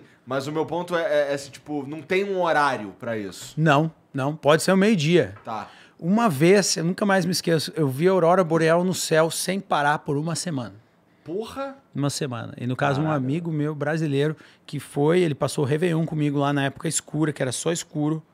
Ele foi pra lá, ele adorou e ele não viu a aurora. E ele não foi lá pra ver a aurora, ele foi lá pra fazer festa comigo, beber, andar de moto. viu a aurora? Não viu, tava só tempo ruim e tal, não viu nada. Deu azar. E aí no próximo ano, mas ele não foi com essa expectativa. Ele foi lá para curtir comigo. E no outro ano, ele chamou um amigo dele, falou: "Pô, vamos para lá, eu gostei muito, e tal, vamos para lá". E eles foram naquele ano, os caras pegaram a aurora no céu sete dias seguidos. Nos últimos dias a gente nem olhava mais. Só que, claro, depende da intensidade, né? Quando tem aquele negócio muito forte, não tem como tu não olhar, porque quase que assusta. É muito forte.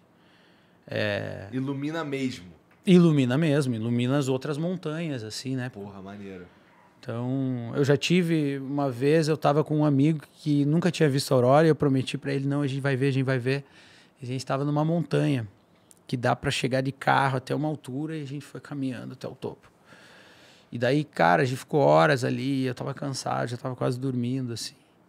Eu falei, "Ah, acho que não vai rolar, e coisa ele, ô, começou a abrir, porque tava, tava nublado, a gente não conseguia ver o, o, o céu, não conseguia ver a estrela.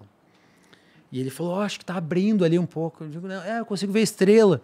Depois a gente conseguiu ver um verdinho na estrela, começou a abrir assim, e aí começou a aumentar, aumentar, aumentar. E no lugar que a gente estava era tão escuro, a gente não via absolutamente nada, a gente só via a neve no chão, assim, e mais nada. E aí a aurora explodiu de uma maneira que a gente olhou para os lados, assim, e a gente começou a ver todas as montanhas, a gente viu onde a gente estava. A gente conseguiu ver as outras montanhas, assim, tudo, clareou tudo, que nem dia, assim, ó. Refletido verde. E aí tu bate a foto, as montanhas ficam refletidas verde, assim. Caralho. É. Que inveja. Ainda bem que você olhou pro lado e tinha cara. a montanha, não tinha urso. Porra, que foda. Não precisa ter inveja, é só ir pra lá e ver, cara. Caralho. Tira uns foda. dias de férias lá e vai ver. E não é tão caro, tipo, pega uma passagem, tem um lugar pra ficar, um negócio. Dá pra ver. É, então, como é que é esse rolê? Onde é que desce? Qual o aeroporto? O que, que tem que pagar? Tem, o que, que tem que pegar pra chegar lá? Que eu acredito que Cara, pra chegar lá onde você tá, não, não deve descer É, quanto- avião grande. se tu- assim, se tu. Eu, eu não sei se isso é uma informação. é, eu, na verdade, eu não sei se, a- se- se essa é a pergunta correta. Mas é, a partir de quantos graus. Eu preciso estar no Ártico. Eu preciso estar no Ártico para ver uma, uma aurora boreal. Tu fala assim, é, lá pro teu lado, é, quantos graus ao norte eu preciso estar para começar a ver uma aurora boreal? Ou não é assim que funciona? é assim que funciona. É? Tu tem que ir pra internet e escrever oval aurora, tá? Tá. mapa.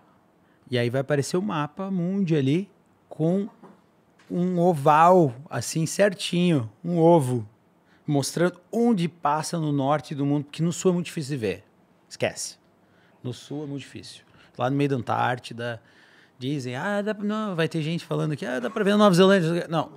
ver a aurora, tu tem que estar embaixo do oval, porque daí tu vê o movimento, tu vê aquela loucura que eu tô falando. Aham. Tu vê no horizonte, quando tá longe, tu vê um verdinho, um negócio que não mexe. Então tu tem que estar numa região certa. E o oval da aurora, ele passa em, em certos lugares no norte da Noruega, no norte da Finlândia, da Suécia, da Rússia. Tu tá bem localizado pra caralho. Isso, eu tô indo agora, onde eu vou morar agora, esse lugar que dá pra andar de moto, esse lugar que é, é uma terra Sami. Eu tenho muito amigo Sami, muito amigo indígena de lá. Muito amigo. E, e, e esse lugar que eu vou morar agora é a capital mundial da Aurora Boreal. É onde a Aurora Boreal foi descoberta e é o lugar mais constante da Aurora Boreal do mundo. Então, passa exatamente embaixo e lá o tempo fica aberto, lá o cara vê muita, aurora, mas muita aurora. Os locais, assim, nem, nem olham, assim, só quando explode mesmo. Assim, já, legal, senão eles não olham. Mano, É. e tu que, que, que tem esse contato com a natureza agora, você deve pirar mesmo, mano. É. É porque. É louco pensar que a gente vai morrer e vai ter umas paradas no mundo assim que existem e a gente não viu. É que, cara, assim, eu fico pensando, caramba, a gente tá numa era de tecnologia. Vou dar uma de Toguro agora. A gente tá numa era de tecnologia, a gente tá numa era da fala informação. E, pô, exploração espacial. E a galera quer saber o que, que tem lá fora. E é foguete. Cara, a gente tá esquecendo de olhar pra nossa Terra, velho. Pro nosso planeta. Tipo, tem muita coisa ainda pra descobrir aqui, velho. Tem muita coisa pra descobrir. Imagina lá as Um coisas que tem pra normal- descobrir que estão A congeladas. gente não chegou nem no, no fundo do mar. né? É, a gente nunca conseguiu chegar no fundo do mar, velho. E, e eu fico pensando, caramba, será que vamos tentar? Porque eu não vejo nenhum esforço, eu não vejo nada. Você falou lá sobre o, o- o gelo absoluto, né? Que é o gelo azul. Cara, tem coisa ali, velho. Ninguém Deixa nunca lá, resolveu. Quer quebrar o gelo? Não, não, não, não é deixar lá. Não é deixar lá. Mas, cara, vamos desenvolver uma tecnologia pra ver o que, que tem ali. Tem coisa pra descobrir lá Tem embaixo. coisa pra descobrir lá, velho. Não vou, não vou querer falar de Ratanambá aqui. Principalmente na Antártida. Principalmente É. na Antártida. Na Antártida, assim, a gente não sabe o que tem lá embaixo. A gente não sabe o que tem lá embaixo. Né? No acampamento base do Polo Sul, onde eu vou todo ano lá, tem é, crevasses, que são rachaduras nas geleiras, na geleira que a gente fica, porque é tudo geleira, né, na Antártida, é tudo geleira. Então, a gente está numa geleira que tem 700 metros Meu Deus. de espessura, tá? E daí, tipo, os caras, não, não, não pode andar nessa direção. Não pode, porque a gente, eles têm foto de ultrassom de cima, e aí manda aquele ultrassom volta a informação, então eles sabem onde estão as, as rachaduras, né? E... Se- é tem a chance de tu passar ali e se fuder, e parar lá no fundo. Isso. E aí, o cara um dia falou pra mim, um dos eh, guias lá, ele falou assim: Não, a gente colocou essas bandeiras aqui porque realmente tu não pode pisar um metro depois dessa bandeira. E a bandeira do meu lado, assim. E eu falei: Cara, não, ele é, é muito importante que tu não passe. Aí eu, beleza. Aí eu falei pra ele: Mas, eh, tipo, realmente tem uma crevasse aqui? Eu sei o quanto pode ser uma crevasse. Mas uma crevasse, crevasse que eu chamo é em inglês o nome de rachaduras nas geleiras. Existe um termo para isso. E aí ele puxou o iPhone dele, cara, e ele apertou play num vídeo e eles estão cavando gelo com uma retroescavadeira assim. E a retroescavadeira passa um metrinho assim da, da bandeira e faz assim, ó. Uá! E cai lá embaixo, cara. E já era. Com dois caras dentro. E já era. E já era, mas eles sobreviveram por quê?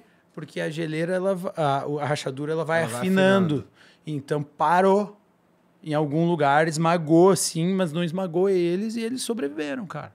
Mas se não, sabe lá até quando tu vai cair, entendeu? Principalmente lá, isso na Antártida, porque são as rachaduras são muito maiores. Brother, tem coisa lá, velho. Tu não sente essa É curiosidade, o, não? o centro da Terra, pô. Ah, velho. De- deve aí. ter Aí vai a imaginação, lá é. embaixo de É, aí- 10 mil anos atrás. da solidão, dos Aí vai a imaginação de Júlio Verme e bora lá, né, mano? Mas assim, É, é, é Imaginação de quem? Júlio Verme, pô, que escreveu os contos de. Júlio Verme. É isso aí. E vai embora. Mas, mano, é. é- é- Mas é maluco, cara. É É realmente dá pra gente parar pra pensar e. Não é maluco, eu acho encantador isso tudo, É. velho. Eu Muito acho. louco, Pô, tem coisa lá, mano. É bem louco, Você né? pensar que. Beleza, será que eu vou viver até alguém descobrir? Porque não vai ser eu que vai descobrir essa porra. Deixa com o Chico. Deixa com o Chico é um Chico. cara o Chico não vai, o Chico. não- Ah, você é curioso Muito. assim? Muito, muito, muito. Ixi, já tô até vendo. Eu, claro, cara, se tu puder ir num lugar que nunca ninguém foi. Pô, né? Por que não? Por que não? Isso é, isso é explorar de verdade, explorador, né? E eu me considero um explorador, porque tem certos lugares, por exemplo, no Polo Norte, que ninguém pisou porque o gelo está sempre movendo e se formando e reformando. E, e eu já andei de, de snowmobile lá, entendeu? Tipo, no Polo Norte, andando de moto neve, passando em cima de, de rachadura e buraco e tentando achar. Porque essas camadas de gelo, elas batem uma nas outras. E elas levantam pedras gigantes de, de, de- de- gelo azul, assim. E elas fazem uma barreira. Então, você tem que achar um lugar para passar para a próxima placa de gelo. Né? Isso é explorar. Né? Tem gente que faz é, expedições, né? As pessoas pagam uma expedição para fazer os últimos 100 quilômetros para chegar no Polo Norte. Se chama The Last Degree, o último grau. Que tu vai dos 79 graus ao norte, não, dos 89 aos 90. Né? E aí tem a, a logística que, que os russos vão te deixar lá num lugar e tu vai de lá até lá e eles te buscam. E tu paga mais ou menos 50 mil dólares por isso. Uhum. Tu pode ir com cães, né? Trenó. Ou tu pode ir com esqui, né? E tu tem que dormir no gelo. Geralmente dá sete, oito dias. E aí tu vai e tu bota tua barraca, mas tu não pode dormir muito. Porque se tu dormir muito, tu volta. Porque o gelo continua se mexendo. Então não pode dormir. E aí o Vitor, o Vitor Serov, ele, claro que não vai estar assistindo porque ele não entende nada, mas senão, senão ele estaria, porque ele está sempre no meu, minha mídia social ali. Ele é o.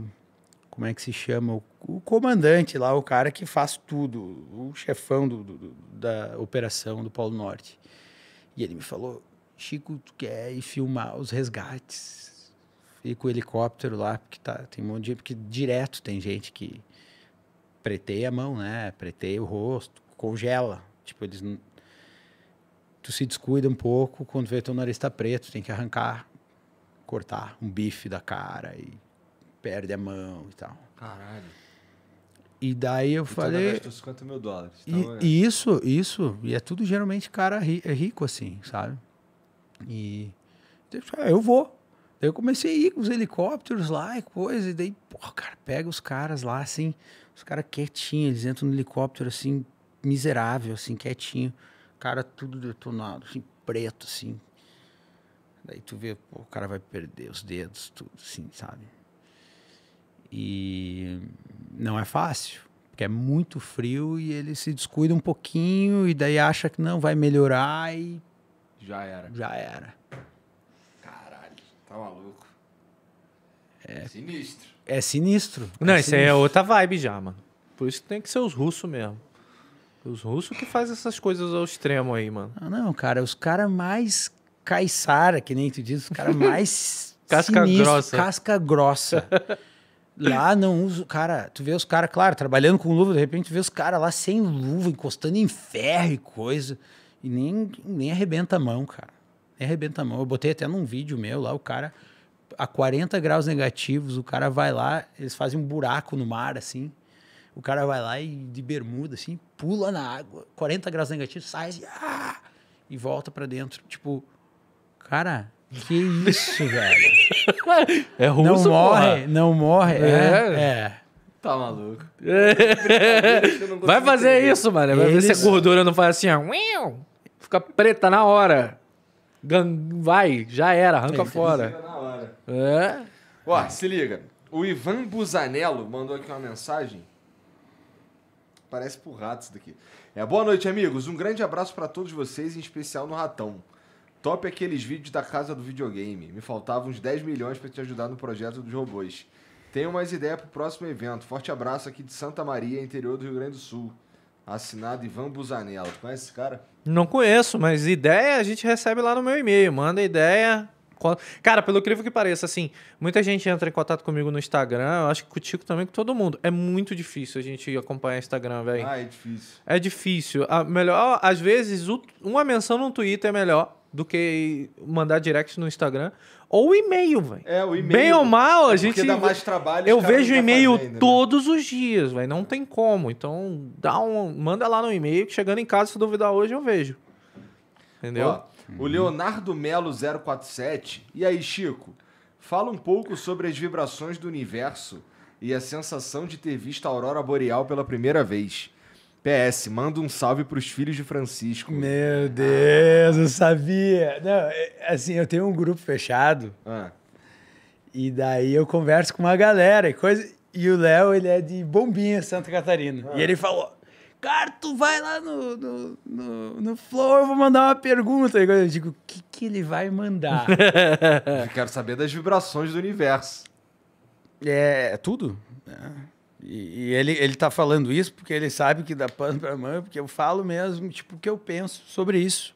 E eu falo muito para eles sobre isso, porque, o, na minha opinião, o que governa o mundo são vibrações, né? Tipo, tudo é vibração. Tudo, absolutamente tudo. Por exemplo, o próprio Tesla, né? O Tesla falou que se tu quiser descobrir os segredos do universo, tu vai ter que entender vibração, frequência e energia, né? Então, é, começa pelo nosso cérebro, como eu digo que a, a eletricidade ela é formada por vibrações. Né? Tu vibra uma coisa como tu vibra um, um violão Uhum. tu vibra aquilo ali, se tu vibrar forte, ah, rápido o suficiente, tu mede em hertz. Cada segundo que vibrar, por exemplo, em um segundo vibra 10 vezes, são 10 hertz. Se vibrar, por exemplo, se for 20 mil hertz, são 20 mil vezes que vai vibrar aquele negócio em um segundo. E isso cria eletricidade, isso cria luz cria tudo. O universo foi criado por essas vibrações. Então, eh, o nosso cérebro ele é completamente eletromagnético. Uh, Tu consegue acender uma lâmpada com o que é gerado de energia elétrica no, no teu cérebro. E tudo isso eh, tu pode alterar, por exemplo, os teus pensamentos. Tu pode alterar o teu cérebro com frequências que vêm de fora. Como tu pode alterar certas coisas, como tu, tu, por exemplo, fala com as plantas. E tu está mandando vibrações para as plantas, porque todas as tuas células estão vibrando o tempo inteiro. Tudo vibra, tudo vibra. Todos os átomos têm um, um, um uma certa frequência e ela cria energia. E tem um, tem um cientista eh, japonês chamado Masaru Emoto. Hum. E o que, que ele fez? Ele botou um pote de arroz e ele deseja o bem para aquele arroz. Então ele fala, eu te amo, eu não sei o quê. Eu já vi essa pesquisa já.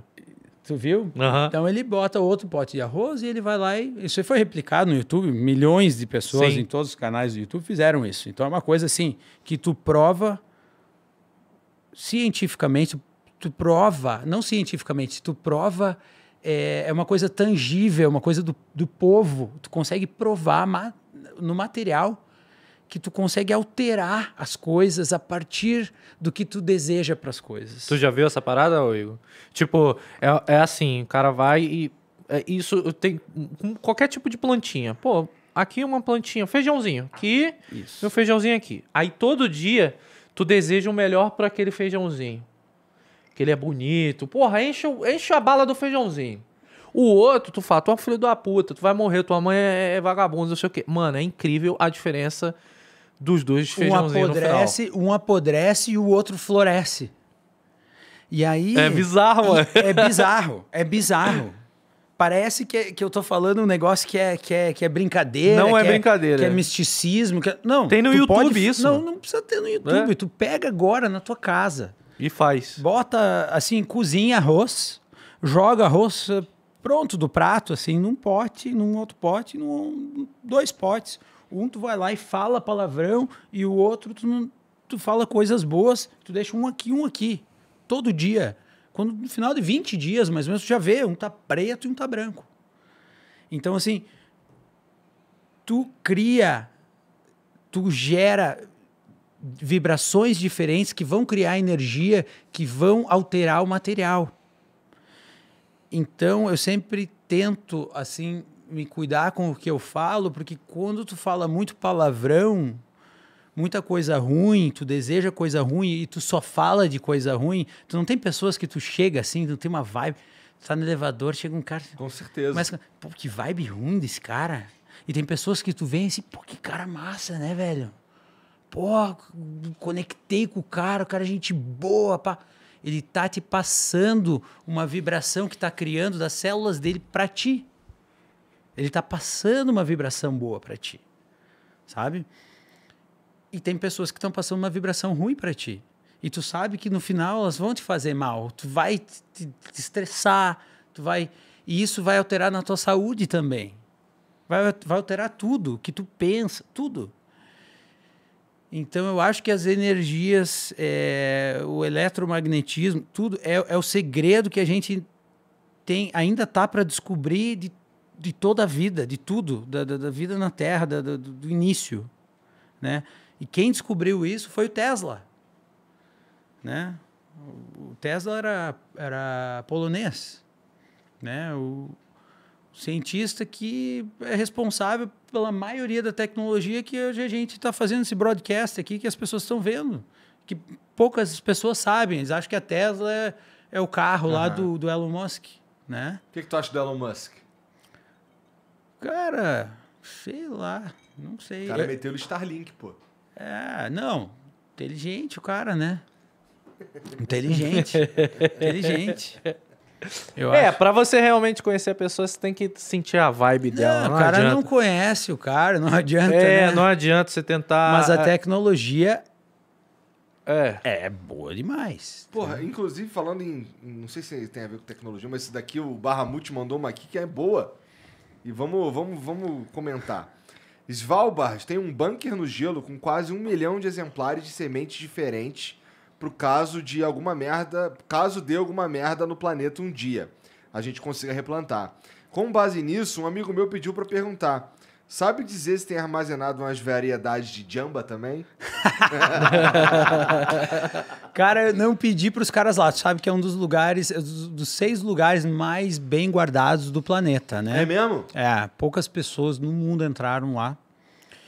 É, só cientista, não sei o que, não sei o que, não sei o que. é muito interessante. É, e, claro, eu entrei, né, Aham. várias vezes. E tem jamba?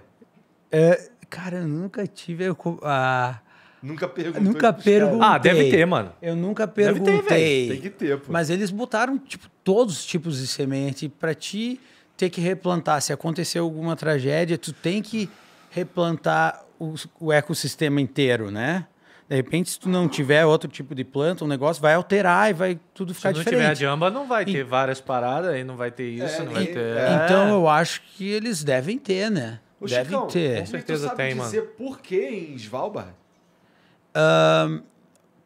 Porque Svalbard é um, é um lugar neutro, não pertence a país nenhum. Tá. Né? A Noruega tem o direito de ser administradora de Svalbard, mas não pertence a ninguém. Tá.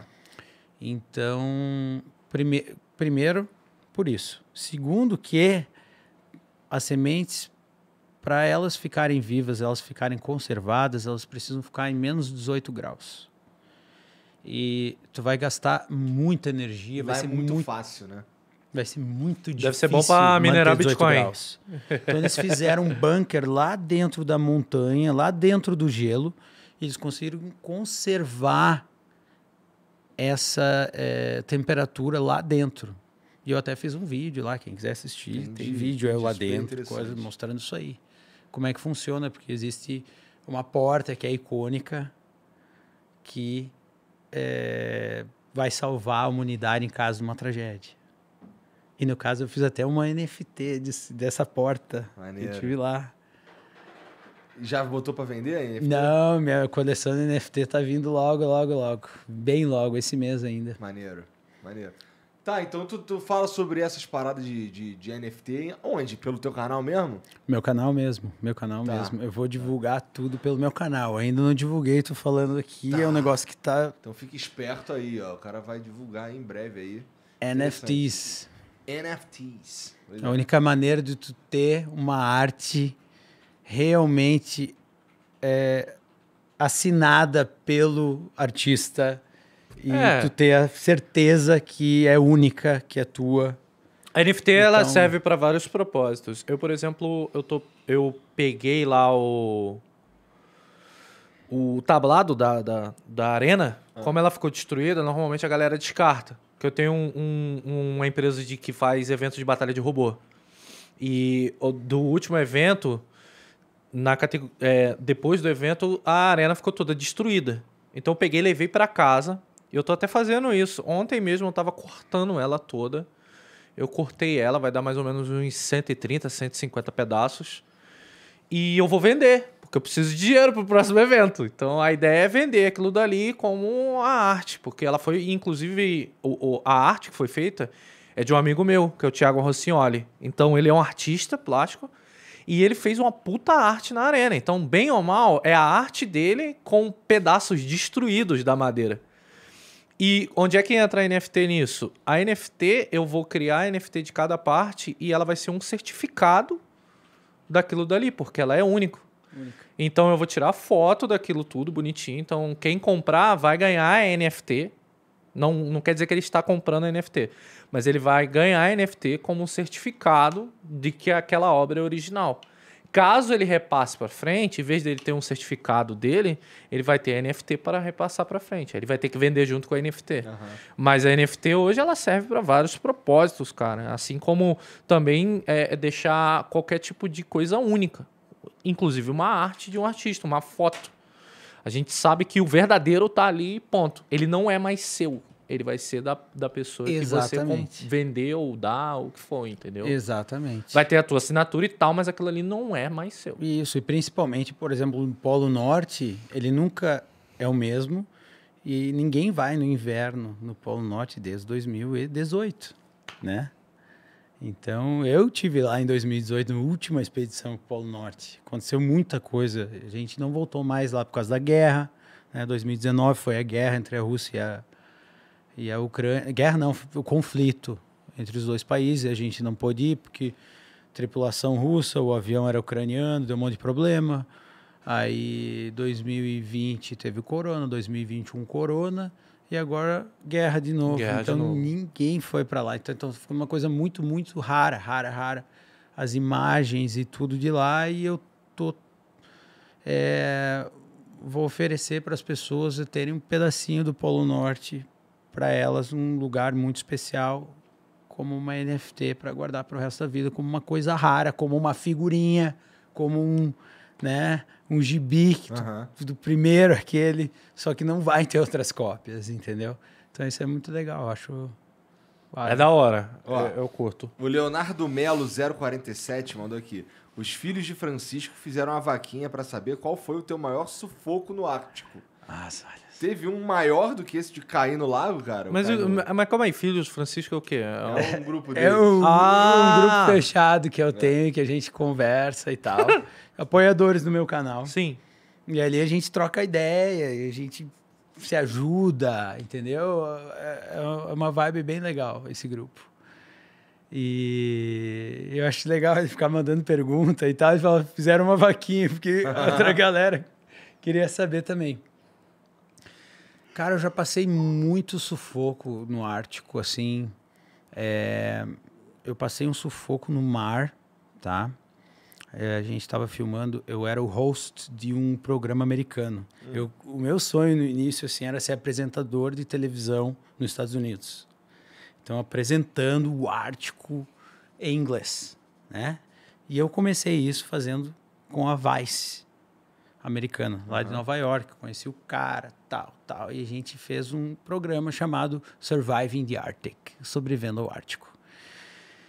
E daí, pô, vamos lá filmar na geleira. Tudo bem. Vamos no verão. Parece tudo bem. Tudo bem. Tudo bem. Fomos lá filmar de barco na geleira. E o esquema era o seguinte: tinha que me filmar sendo jo jogado no mar com um survival suit, com um macacão de sobrevivência dentro da água. E daí, cara, eu tava fazendo a produção, eu era o cara que tava dirigindo o barco, eu que tava tomando conta da segurança deles, tudo.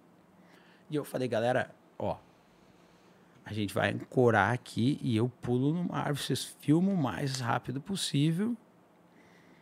E tá tudo certo, tá tudo certo. E aí, eu, nesse episódio, eu explico como tu pode tentar sobreviver, porque se tu cai na água e o vento tá te levando, o vento vai acabar te levando para a geleira. E a geleira cai toda, ela é muito perigosa. Tu fica no verão, cai ali qualquer coisa de gelo. Isso foi antes nada, ou depois daquele episódio? Do episódio que você caiu e quase morreu. Isso aí. Isso foi depois. Depois, então já tinha uma experiência já, já. tinha experiência. Só que é outro tipo de experiência. Tu tá na É. água, né? No verão. mas tu tá no meio dos icebergs e tal. E eu, eu posso contar essa, depois eu quero contar mais uma. Tá. E aí, eu tô explicando que tu pode mexer o teu corpo assim, fazer o teu corpo uma vela. Que tu pode usar esse vento para desviar da geleira e tentar sair, né? E nesse meio tempo, começa a mudar o tempo, brother. Começa a vir uma ventania e o mar tava calminho, assim, e eu na água, assim, pirando. Eu digo, cara, eu tenho que voltar pro barco, a galera tá ancorada. E daí eu comecei a gritar pro, pro Xavier, que é o, o outro produtor lá. Eu digo, ó, puxa a âncora, volta, vem me pegar, porque eu tava realmente indo. E daí ele foi, me buscou, beleza. Só que, cara, quando eu tomei rédea do barco, as ondas já estavam gigantescas. Elas estavam gigantescas. O vento estava absurdo.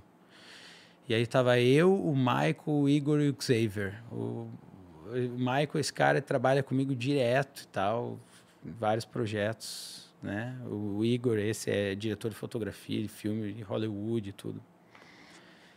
E os caras estavam apavorados, brother. Eles estavam branco assim, ó. O barco fazia assim, pum, pum, e saía, tipo, pedaço de gelo e água pra cima do barco, assim. E os caras, assim, quietinhos, assim, ó. Vou morrer, vou morrer. É.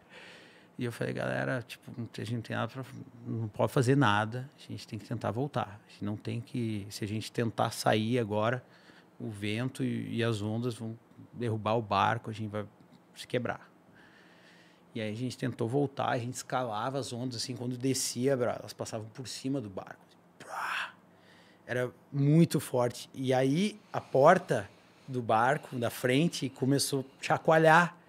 E daí eu falei, Xavier, segura a porta. No que ele pegou a porta, assim, a porta, a porta arrancou e voou pra cima do barco, brother. Não tinha mais porta. Daí começava a entrar água dentro. Cara, quando a gente chegou de volta, cara, a galera queria beijar o chão. A galera tava assim, tipo, cara, eu não acredito que aconteceu. A gente foi indo com água entrando no barco e batendo no, Escalar as e ondas. batendo em, peda- não, em pedaços de gelo, né? Porque quando tu vai batendo no- nos pedaços de gelo, vai dando aqueles barulhos. Bum, bum, bum. E aí vai, é, vai batendo no alumínio, assim, vai te dando um... Pô, e se quebrar agora o casco do, Do barco? nada essa, essa tempestade. Do nada, do nada. Muda muito rápido. Que loucura, cara. E daí essa aconteceu outras, e tá no topo da montanha, e do nada tu vê uma nuvem preta, assim, que nem o filme do Everest. Não sei se vocês viram, Aham. que é, uma, é um episódio real que aconteceu. Eles tinham uma janela para chegar no topo, e daí, de repente, vem uma tempestade e não deu tempo deles saírem de lá.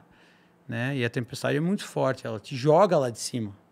E tu não vê mais nada. Quando entra essa nuvem, ela bate, tu não vê mais nada, tu não sabe o que que é para frente, o que que é para trás, só vê branco. Então, é, já aconteceu várias vezes de eu estar no topo da montanha e de repente ver vindo o negócio assim, oh, eu tenho que descer, tenho que descer. Aí eu pelo menos consigo sair do, do topo assim, mas aí quando tu começa a chegar um pouco na parte de baixo, fica, tu não vê mais nada. Não vê mais nada. Só com o GPS, assim, para te se achar, porque tu não vê mais uma pegada, tu não sabe se é um penhasco, tu não vê mais nada.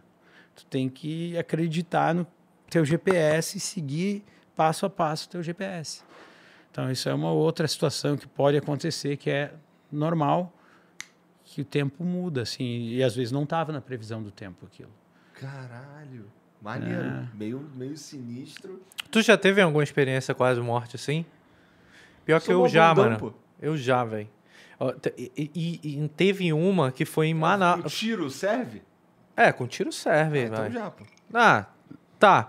Mas teve uma em Manaus, cara, que eu fui, que a gente pegou uma tempestade e, mano, eu entrei numa crise de riso. Inclusive, eu gravei vídeo. Tempestade? Tenho, eu tenho um vídeo no meu canal. Tô achando graça da- do fato de morrer. Cara, assim, a eu não sei se na minha cabeça, porque na hora você, eu- na hora eu não tava acreditando que eu poderia morrer. Mas a, situação era muito perigosa. Porque, cara, começou uma tempestade, você vê como é que você começa a ver a porra do guia, começa desesperado. Os italianos que estavam junto com a gente tava, cara, gritando pra caralho e isso e aquilo e começou a ficar de noite no meio do Rio Negro. Aí, tipo, vol- o cara com a lanterninha assim, coisava. Eu perguntei, mano, o que, que são essas paradas brilhando ali? Jacaré. É muita loucura, mano, que eu já passei na minha vida. E outra foi voando. Voando, eu quase bati de frente com um amigo meu, que a gente entrou na nuvem ao mesmo tempo. Ele vindo de um lado e eu do outro. Quando eu dei de cara com ele, eu puxei a vela, mas ali, se eu bato, nós dois tínhamos morrido. E, e era meu vizinho, mano. Puta que pariu. Não foi o desconhecido. Nessas horas é bom fazer o curso. Mas assim, experiência. curso é- também. é, experiência de É, voa? morte é. Vou- Ah, não vou mais, mas eu fiz o curso, fiz 30 e poucos saltos. Sozinho, assim, no Ártico, voando e tal. Nossa, mano, deve ser uma loucura, velho. Tá, tá tudo gravado, isso aí tem os episódios no canal off lá, eu aprendendo, eu tenho medo da altura, né? Então a, a pira inteira do episódio é eu, eu tremendo assim, ah, não vou, não vou. É. Mas eu, mas eu fui, mas eu fui, cara. Foi muito Nossa, agora eu, agora eu vi vantagem do rolê, hein? É, parece maneiro. Porra, né? deve ser do caralho, No Ártico mano, é mais voar. fácil voar, mais fácil, porque eu vim aqui pro Rio aqui. Mas e como é que consegui. fica lá, em questão de térmica, essas coisas? É- Exatamente. É, Não tem muita térmica. Então tu vai descendo. vai só... É o voo Vai- prego, o prego, normal. É, mas tu pode subir, né? Se tu pegar a térmica na- no edge da O montanha. lift. Ah, lift. sim, o lift. Daí tu dá o rolê aqui, vem no edgezinho aqui, levanta. Isso. Aí dá o rolê de novo, É o, voo, é o voo que a gente basicamente faz na Pedra da Gávea, que é de lift. É, mas eu fui na Pedra da Gávea, Só que é muito eu perigoso. Foi voar. inclusive quase lá que eu Cara, me acidentei. Eu achei que eu poderia voar lá e eu tava habilitado, assim. E eu fui com um amigo meu, o Daniel, e ele é instrutor lá, vive lá há muito tempo. E eu fui num voo duplo com ele. Eu disse: Não, eu vou testar, vou ver qual, qual que é. E, cara, começou a subir aquele negócio. Começou a subir, subir, subir. Eu não tô acostumado. Em Svalbard, não tem isso aí, porque é frio, né? E daí começa a cair. Tipo, tá tranquilo, vai, desce aqui. E outra, não tem árvore. Tu pousa em qualquer lugar, é só gelo. Lá, árvore pra caralho. Cara, árvore e tudo, e o negócio subia, subia, subia. Cara, como é que eu vou baixar esse negócio aqui agora? Cara, assim, eu aprendi a voar lá. Lá na, na Pedra Bonita. Tipo, a- é todo o curso que eu fiz foi lá. E lá é um dos lugares mais difíceis de você voar. Já começa pela rampa, que a rampa ela é muito pequenininha. Então você tem que fazer a decolagem de a, a- é, a modalidade alpino e não invertido. Invertido você sobe a vela, vira e corre. Como lá é pequenininho, você tem que estender a vela e sair correndo. Então, dependendo de. Cara, você tem que ter a certeza absoluta que tua vela tá bem esticadinha. Aí começa e, e o voo que a gente normalmente aprende é o voo prego que vai direto pra praia. Mas depois você vai aprendendo outras coisas, que é o voo de lift, que você fica na pedra da Gávea, indo e voltando. Por cima do túnel ali, indo e voltando, indo e voltando. Aí normalmente você pega altitude. um dos voos que eu sempre tive o sonho de fazer e nunca consegui Cristo. é o Cristo. É o Cristo. Mano, é uma das Todo vibes mais da hora e não é assim, são poucas condições no ano. Normalmente é em novembro que você consegue um voo pro Cristo, que é justamente você sair ir em direção à Rocinha, aí você vai, eu me esqueci o nome da pedra, mas logo em cima da pedra você vai pra lá, aí tem uma térmica, você vai pegando térmica. Aí você usa um aparelho chamado variômetro, que é justamente o, o, o- O que faz o pipi pipi pi. O variômetro tem, um- cara, o variômetro que eu tenho, é- ele é muito da hora, porque ele consegue receber informação e ele te diz exatamente onde é que estão as térmicas pra você ir e pegar. Ar quente. É, term... é isso daí. Ou você segue os urubu. No Ártico não deve ter urubu, mas no Rio tem pra caramba. Tem águia. então tem você. águia. É, tem águia. Então, cara, é o esquema. Viu o urubu planando, vai pra lá que tu vai pegar uma térmica boa. E, cara, é muito da hora. Assim, eu tenho na minha cabeça até hoje um mapa de como ir pro Cristo. Era só a oportunidade mesmo que eu não tive. Porque você vai pra lá, aí você, por cima dessa montanha, você consegue atingir 1 km 300 de altitude, fazendo térmica. Fez a térmica, atingiu isso, é partir direto pro Cristo que você consegue chegar no Cristo. Aí quando você vai, não tem a montanha do Cristo, você vai subindo de lift. E, mano, quando uma hora você vê o Cristo tá do teu lado. Aí você fica rodando o, lift Cristo. É o, que? o vento que bate na pedra? Isso, é o vento que bate na pedra e sobe. Sobe, é tá. só você pegar aquilo dali com a vela, você consegue altitude. Entendi. E é muito da hora esse voo, cara, assim, era paixão, queria muito, mas eu não, não consegui. Não deu. Tenho ainda vontade de fazer, mas provavelmente a probabilidade de eu estar no Rio, a probabilidade de São ser o poucas dia... pessoas no mundo que fizeram esse voo. Não, quem é, muita rato, gente. que tá lá todo dia, consegue fazer. Quem tá lá, quem vai pra São Conrado quase todos os dias e tal. E, tipo, nessa época do ano a galera já sabe. No entanto que, a, a- mano, a, a, a rampa fica cheia. Cheia, cheia de gente tentando fazer esse voo. Esse meu vizinho, que eu quase me acidentei com ele, hoje ele é instrutor. Pra você ver como é que a vibe do cara mudou total. Assim, ele é. é- é- eu, acho que ele ainda é policial militar, mas ele, ele queria outra parada pra vida dele. Então a gente fez o curso junto. A gente fez o curso junto. Só que eu vim pra São Paulo e tal, e ele foi, subiu do nível 1 pro 2, o 3, aí o 4 é de instrução. E ele já fez esse voo várias vezes pro Cris. Porque como sendo instrutor, o cara já manja pra caramba, velho. Ele tá um absurdo no voo livre já. Mas assim, cara, agora voar lá deve ser do É caralho. pura velho. conexão com a natureza. É conexão. Nossa. Conexão. E eu me sentia, cara, era uma vibe boa. Eu fui atrás desse esporte, atrás de adrenalina. Mano, encontrei paz. Juro Conexão, pra você, brother. Conexão, tu tá ali, tu tá com o vento, tu tá entendendo do, do, do- vento. eu voltava pra casa assim, mano, é toda a carga de térmicas. estresse que eu tinha. Conexão pura. E como é que é o tempo? Quanto tempo tu faz o voo? É? Tu Chega no cronômetro, quanto tempo tu tava lá? Quanto Você tempo fica, tava- a cabeça fica em outra parada. Tu, não tem como tu entrar no automático. Já começa aí. Não. Você tem que ter tensão. Você não tem asa, brother. Se der merda, tipo, tem várias paradas que Faz um voo acontece, intenso é. de uma hora pra te ver. Você tem que ficar- um dia inteiro lá. São coisas assim, você tem que ficar prestando atenção na sua vela sempre. É, dependendo da, da, da vela, por exemplo, vela A é mais segura, mas não te dá um voo com muita velocidade e você não consegue muita altitude. E tem a vela D, que é uma vela super esportista e que ele consegue altitude, consegue velocidade de tudo. Mas é fácil de fazer merda. Muito mais fácil, porque o que, que acontece? O lance do parapente, você não pode deixar o parapente passar a sua cabeça. Você não pode, mano. Você tem que ficar aqui assim, ó. Então, viu? Puxou, viu? Soltou. Se ele passar, ele fecha. Fecha e você cai rapidamente os 30, 50 metros. Fácil. Uf. E ali, na, na- em São Conrado, você não tem margem para erro. Desceu isso daí, é árvore. No entanto que no curso, no próprio curso lá, você fala, se você for pro chão, procura uma árvore mais fofinha. Que, cara, é muito, é muito melhor você arborizar, se machucar, do que ir pro chão. Entendeu? Ou ir pra pedra. É muito mais legal você ir pra árvore. Pra, pra- O bagulho é pegar uma árvore fofinha. uma árvore Legal. fofinha. É sério, mano, é sério. Lá em Svalbard não tem essa Não porra, tem, não, um não tem, não. era, Mas é, pô. cara, deve ser um voo super tranquilo, porque é um voo prego.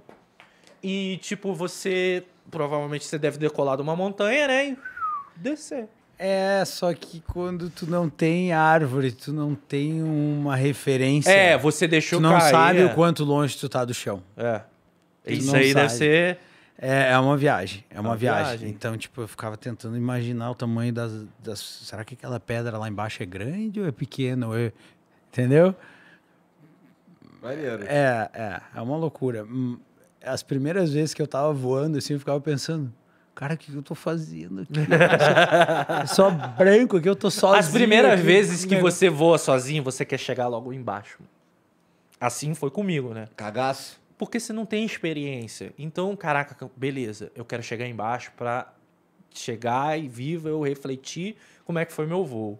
O meu primeiro voo foi o voo mais cagado do mundo, mano. Porque o meu instrutor botou o rádio aqui na mochila e ele botou. Só que quando eu decolei, brother, o rádio caiu e foi pro fundo da mochila, eu não escutava ele. Então eu fiz o voo cego sem instrução. E ele fica falando até no vídeo, direita, direita, e eu indo pra esquerda, bola não. Rumo à Rocinha, brother. e tá. Aí ele falou, aí ele já tinha me falado, beleza, prego, não tô escutando ele, cara. Aí eu peguei, fui assim, depois fui pra Orla e desci.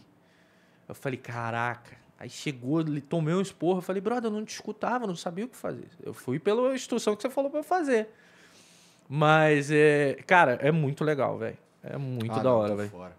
bem que eu pulei, de, eu pulei de paraquedas já, né?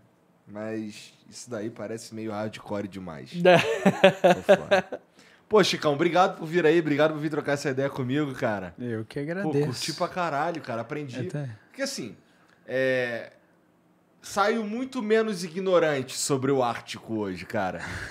Obrigado mesmo, foi maneiro, eu Eu curti que demais. agradeço. Pô, até do Papai Noel a agradeço. gente soube aí, velho. é. Tem o Papai Noel, né? É. O Papai Noel tem um. uma Mas, Chicão, fala aí as tuas redes sociais aí pra galera seguir. Aí, galera, é Chico Matos no Instagram. É Chico com dois Cs e dois T's. Isso, Chico com dois Cs, C-H-I-C-C-O, Matos com dois T's, Chico Matos.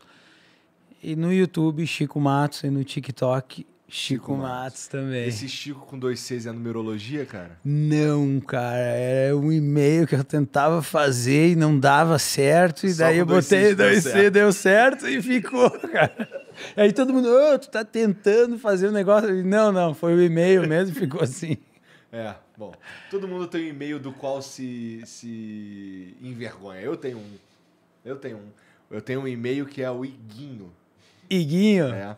Que eu fiz em 2004. Porque Igor não dava nenhuma das paradas que eu tentava Iguinho. dar. Aí eu botei Iguinho. Iguinho.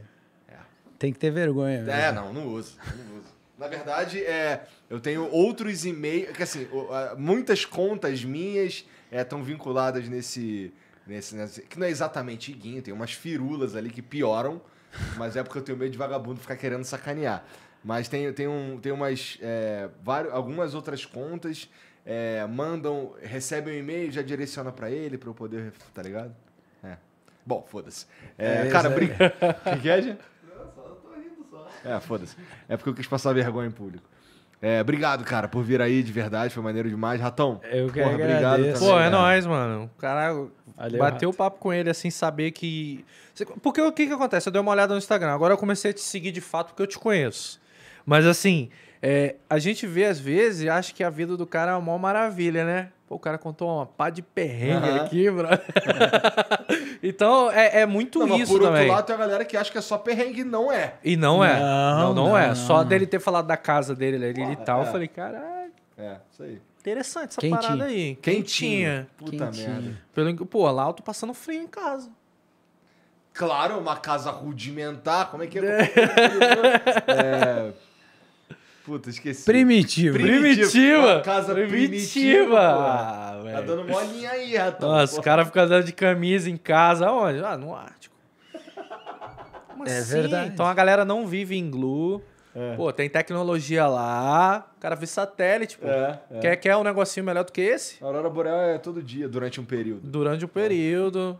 Mas, pô, obrigado mesmo, obrigado os dois. E vocês que assistiram aí, não esquece de seguir o Chico e o Rato, tá tudo aqui na descrição, tá bom? Ou no comentário fixado.